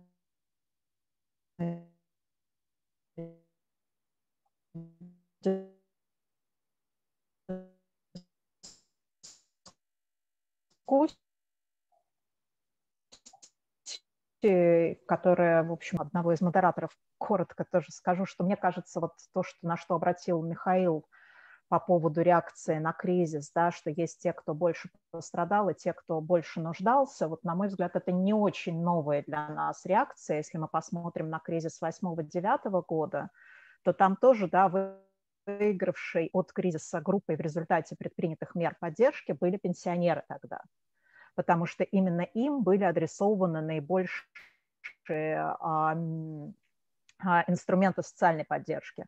И при этом пенсионеры отнюдь не были самой страдавшей группой в тот кризис, но а, тогда это была реакция а, на то, что размер пенсии на протяжении нескольких лет до кризиса восьмого года рос медленнее, чем заработная плата, и относительный уровень жизни пенсионеров был не очень высоким.